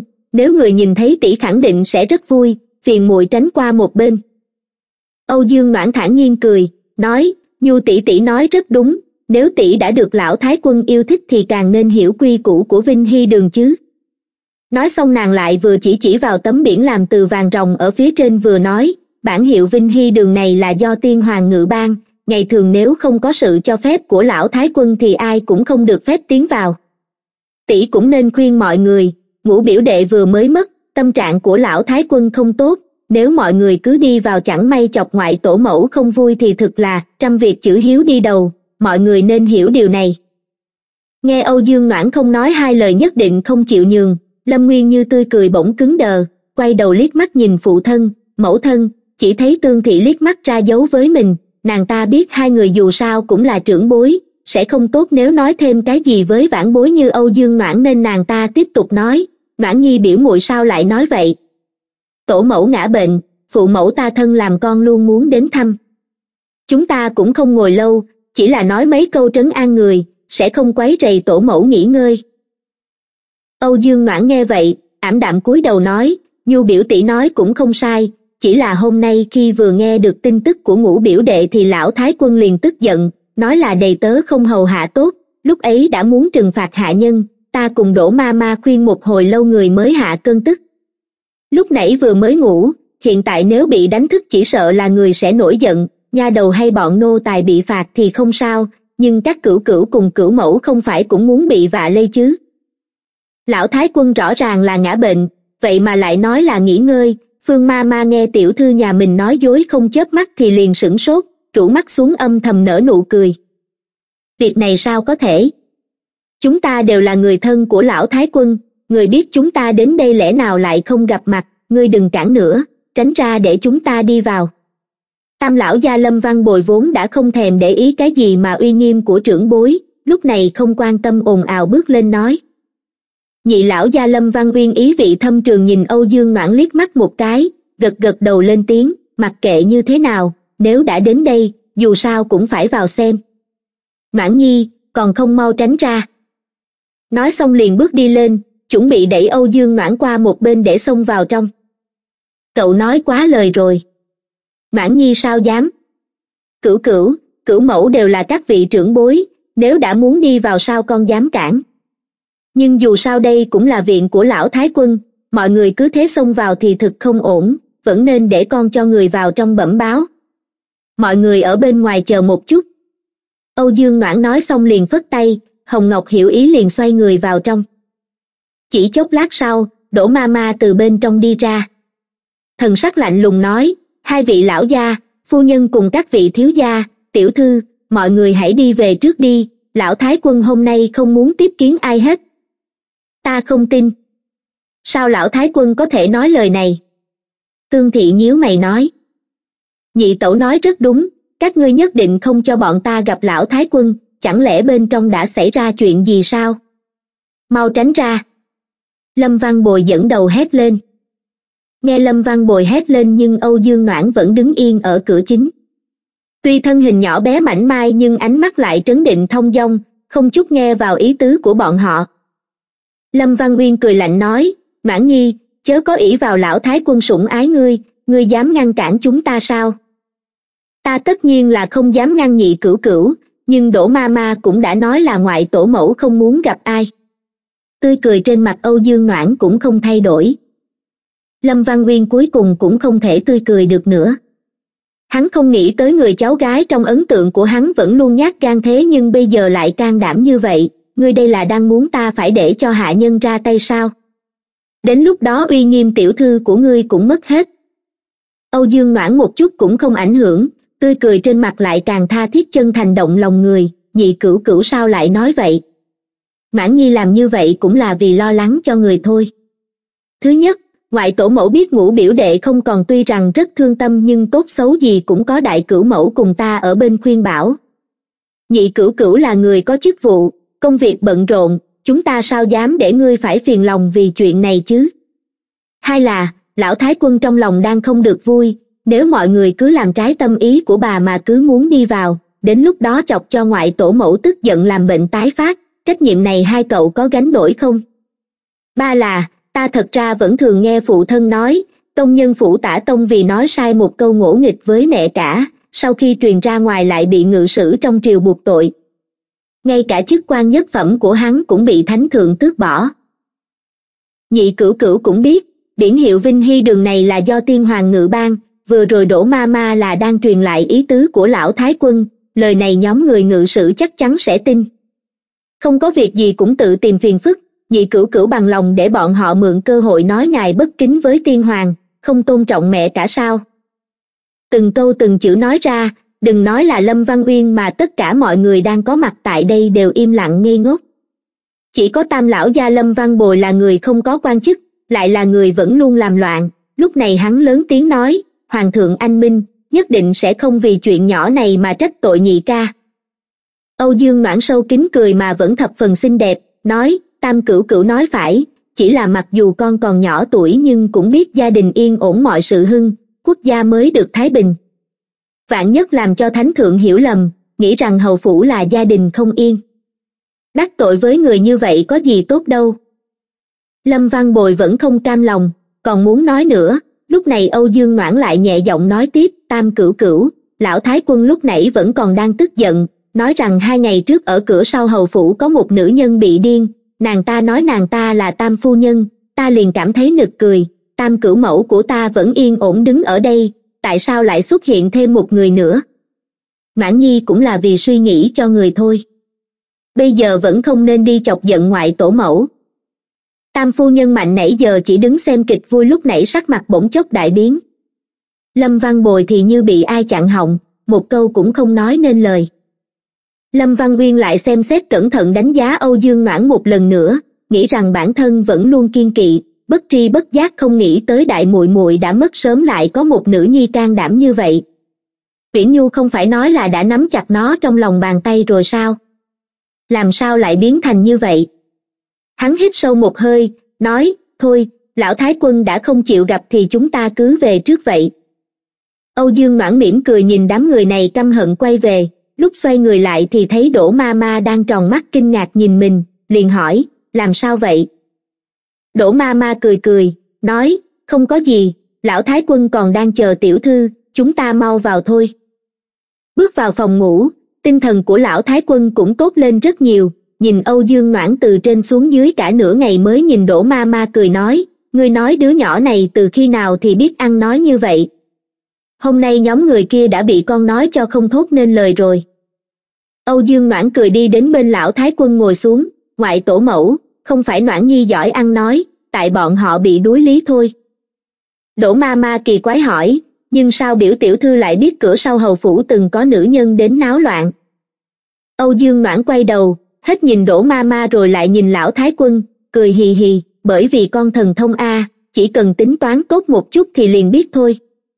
Kinh đô này có rất nhiều chỗ, chỉ cần một chút tin đồn thôi cũng đã lan truyền nhanh chóng rồi ai lại không biết tam lão gia trấn quốc hầu phủ ở bên ngoài nuôi dưỡng tình nhân, còn bị người ta tìm đến cửa. Huống chi âu dương noãn vẫn luôn sai người âm thầm theo dõi động tĩnh bên này thì sớm đã biết rất rõ ràng rồi. Lão thái quân không khỏi nở nụ cười, lại bị ho khan mấy tiếng. Âu dương noãn vội vỗ nhẹ lưng cho bà, nói, bọn họ hôm nay không gặp được, ngày mai chắc chắn lại đến, đại cửu cửu cùng đại cửu mẫu đang ở đâu? Đỗ ma ma lộ ra thần sắc khó xử, nói thân thể đại lão gia vẫn luôn không tốt, nên không chịu được gió lớn mà chỉ có thể nằm trên giường tĩnh dưỡng. Trong nhà này chỉ dựa vào lão thái quân cũng đại phu nhân chống đỡ, nhưng nay đại phu nhân đang đau lòng vì mất con trai, bắt đầu từ hôm qua đã không chịu đi ra quản lý, bằng không cũng không để cho nhị lão gia cùng tam lão gia có thể ép người như vậy. Đại cửu cửu lâm văn phong tuy rằng kế thừa tước vị nhưng lại hư nhược nhiều bệnh, tính cách yếu đuối so với nhị cửu cửu lâm văn uyên thân thể cường tráng cùng tâm cơ thâm trầm thì đúng là kém hơn rất nhiều. Kiếp trước đại cửu cửu cũng là nằm trên giường bệnh nhiều năm, cuối cùng vẫn mất sớm, tước vị đương nhiên là được lâm văn uyên rất có uy danh trong triều kế thừa. Nhưng lâm văn phong mới là cậu ruột của nàng, lâm văn uyên cùng lâm thị là huynh muội ruột thịt, nhìn về điểm này tất nhiên nàng sẽ không để ông ta có thể đoạt được tước vị nhẹ nhàng như vậy. Nàng nghĩ nghĩ rồi nói với lão thái quân, ngoại tổ mẫu người cũng mệt rồi, nên nghỉ ngơi trước đã, con bây giờ qua thăm đại cửu mẫu, quay về lại chăm sóc cho người. Đi đi, thay ta an ủi nó. Lão thái quân thở dài, sắc mặt bao phủ một tầng u ám. Âu dương noãn nhìn đỗ ma ma hầu hạ lão thái quân ngủ xong mới quay người rời đi. Vinh hy đường của lão thái quân có mật đạo thông ra hậu viện phía sau cửa phòng. Âu dương noãn đi qua mật đạo để tới hậu viện sau đó đi xuyên ra ngoài đến một đường hẻm. Đường hẻm này dẫn trực tiếp đến nội viện của đại cửu mẫu trầm thị. Chờ nha hoàng thông báo xong âu dương noãn mới đi vào.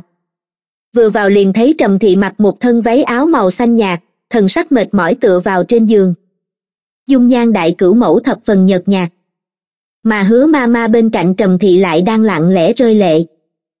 Vừa thấy âu dương noãn bước đến, trầm thị đã lấy lại chút tinh thần, nói, noãn nhi tới rồi mau qua đây ngồi xuống. Trầm thị trong trí nhớ của âu dương noãn là một người vô cùng rộng lượng. Khi mẫu thân nàng qua đời bà cùng với lão thái quân đến thăm là người luôn ôm nàng vào ngực kiên nhẫn khuyên giải cùng an ủi. So với đám người nhị cửu cửu hư tình giả ý thì bà mới xem âu dương noãn như người thân thật sự. Nàng mỉm cười dịu dàng bước qua đến bên cạnh trầm thị thì ngồi xuống đại cửu mẫu. Đã lâu không gặp, tiểu cô nương ngày nào giờ cũng đã thành một thiếu nữ duyên dáng yêu kiều rồi. Trầm thị cười yếu ớt, trong lời nói chứa đựng sự chua xót. Ngũ biểu đệ không còn, chỉ có người thân của hắn là vì hắn mà khóc thương, người khác dù có nhiều nước mắt cũng chưa hẳn là thật lòng. Âu Dương Noãn rất hiểu tâm tình lúc này của Trầm Thị, nhẹ giọng an ủi, đại cửu mẫu, người đã khóc một ngày rồi, cẩn thận làm hỏng mắt. Người còn có đại cửu cửu, các biểu ca, biểu tỷ cũng cần người chăm sóc, còn có việc nhà cần phải xử lý, huống chi nếu người cứ như vậy, ngoại tổ mẫu cũng sẽ thương tâm theo. Tiếp theo nàng nhìn lên thấp giọng nói, hứa ma ma, ta có lời muốn nói riêng với đại cửu mẫu. Hứa ma ma gật đầu, nhanh chóng mang bọn nha hoàng, bà tử ra ngoài canh giữ. Sau đó cẩn thận đóng cửa lại rồi mới đi vào trong. Trầm thị rốt cuộc cũng không nhịn được nữa, nước mắt thi nhau rơi xuống, khóc thành tiếng. Hứa ma ma nhanh chóng đem khăn tay lại cho Trầm thị. Bà nức nở vừa khóc vừa thấp giọng nói, Noãn Nhi. Tranh Nhi nó vốn khỏe mạnh. Nó là bị người. Hứa ma ma vừa nghe thấy thế lập tức mở miệng ngăn cản, phu nhân hồ đồ rồi. Sao lại nói với biểu tiểu thư những lời mê sản như vậy? Âu Dương noãn sắc mặt thoáng lạnh, nói, hứa ma ma, đại cửu cửu là cậu ruột của ta, đại cửu mẫu lại là người nhìn ta lớn lên từ nhỏ. Ta sẽ không một lòng với mấy người ngoài. Ngươi yên tâm, cứ để đại cửu mẫu nói hết ra đi. Hứa ma ma vẫn luôn cảm thấy vị biểu tiểu thư này đã bị kế mẫu kia lừa cho hồ đồ rồi. Nhưng bây giờ lại nghe nàng nói như vậy thì lắp bắp kinh hãi. Những lời này Trầm Thị đã muốn nói, nhưng lại không dám nói trước mặt phu quân mang nhiều bệnh tật. Cũng không dám nhiều lời với lão thái quân đã lớn tuổi, lúc này rất cần một người có thể lắng nghe, nên liền nói tiếp, đại cửu cửu con thân thể không tốt, ta mấy ngày nay luôn túc trực bên cạnh để chăm sóc nên liền sơ sót tranh nhi. Nó chẳng qua là lỡ ăn phải đồ hỏng nên bị đau bụng, chỉ cần uống thuốc thanh lọc liền khỏi. Ai ngờ tên lang băm kia nói là bị kiết lỵ, lại dùng hổ lan chi dược. Âu Dương Noãn chậm rãi nói, đại cửu mẫu, đại phu kia có phải là...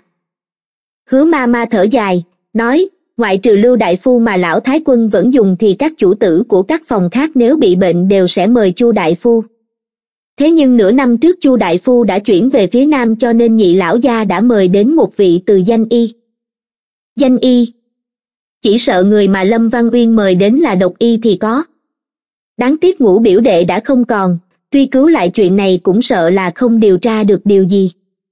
Âu Dương Noãn âm thầm nghĩ trong lòng như vậy nhưng ngoài miệng lại thấp giọng nói, đại cửu mẫu nói lời này, Noãn Nhi đều hiểu được, cũng có thể thông cảm được. Chỉ thương thay cho lão thái quân cùng đại biểu ca. Một người thì ngã bệnh, một người lại chỉ có thể trơ mắt nhìn mẫu thân thương tâm. Trầm thị lập tức sửng sốt, không biết lời của Âu Dương Noãn là có ý gì. Âu Dương Noãn lại ôn tồn nhỏ nhẹ nói, ngũ biểu đệ là cháu ruột của ngoại tổ mẫu, người cũng vì thế mà rất thương tâm. Đại cửu mẫu có thể đóng cửa lại khóc thương, nhưng lão thái quân một khắc cũng không thể nghỉ ngơi, vừa rồi mấy người nhị cửu cửu bọn họ kéo nhau đòi cầu kiến. Có bọn họ ở đó, ngoại tổ mẫu có đau cũng nói không nên lời. Trầm thị mở to mắt kinh ngạc, lại nghe Âu Dương Noãn nói tiếp, chuyện nhị cửu cửu mơ ước tước vị chắc trong lòng đại cửu mẫu cũng đã rõ ràng. Chỉ là đại cửu cửu mới là con trai trưởng, lại thêm việc ngoại tổ mẫu vẫn còn nên tước vị này vô luận như thế nào cũng không đến lượt ông ta. Nhưng mong người thứ cho con tội bất kính, nếu như đại cửu cửu cùng ngoại tổ mẫu đều không ngăn cản được hắn, một khi được kế thừa tước vị, đại cửu mẫu có từng nghĩ qua đại biểu ca lúc đó sẽ như thế nào không? Lâm Chi Nhiễm là con trai trưởng của Lâm Văn Phong cùng Trầm Thị, nếu như thân thể phụ thân khỏe mạnh, tương lai người được kế thừa tước vị khẳng định là hắn. Nhưng sức khỏe của trượng phu không ai rõ bằng trầm thị, chỉ sợ không chống đỡ được quá vài năm, chi nhiễm dù sao cũng mới là thiếu niên, sao có thể tranh được đám xài lan kia. Một khi Lâm Văn Viên được kế thừa tước vị, ngay cả khi đại phòng không bị đuổi đi thì tiền đồ của nhiễm nhi cũng sẽ bị hủy hoàn toàn. Đại cửu mẫu, người hãy suy nghĩ một chút, nếu cứ tiếp tục thương tâm như vậy, để mặc bọn họ chèn ép ngoại tổ mẫu khiến người gục ngã, đại cửu cửu cũng suy sụp thì người được hưởng lợi sẽ là ai? Tranh Nhi là con ruột người, hắn mất người đau khổ con đều biết, nhưng chi nhiễm biểu ca cũng là trưởng tử của người. Khi sinh huynh ấy, cửu mẫu bị khó sinh. lúc bà mụ hỏi giữ người hay đứa nhỏ cửu mẫu đã không chút do dự mà lựa chọn giữ lại chi nhiễm biểu ca người thương huynh ấy như vậy sao nhẫn tâm nhìn huynh ấy tương lai không có chỗ dựa lại bị người ta khi dễ những lời này chính là lời mà hứa ma ma vẫn muốn nói nhưng ngại thân phận nên không dám bây giờ nghe được âu dương noãn nói như vậy liền vui mừng đại phu nhân đau thương quá độ nên bỏ bê gia sự như vậy quá tiện nghi cho mấy người nhị phòng bọn họ. Một khi lão thái quân bị họ bức tử thì đại phòng có thể chống đỡ được bao lâu? Đến lúc đó tương lai của đại thiếu gia lâm chi nhiễm cũng bị hủy, đỗ ma ma thấy biểu tình suy nghĩ của trầm thị liền chạy nhanh đến khuyên, phu nhân. Biểu tiểu thư nói phải, vì đại thiếu gia ngài nhất định phải đứng lên. Hết phần ba, mời các bạn đón nghe phần bốn.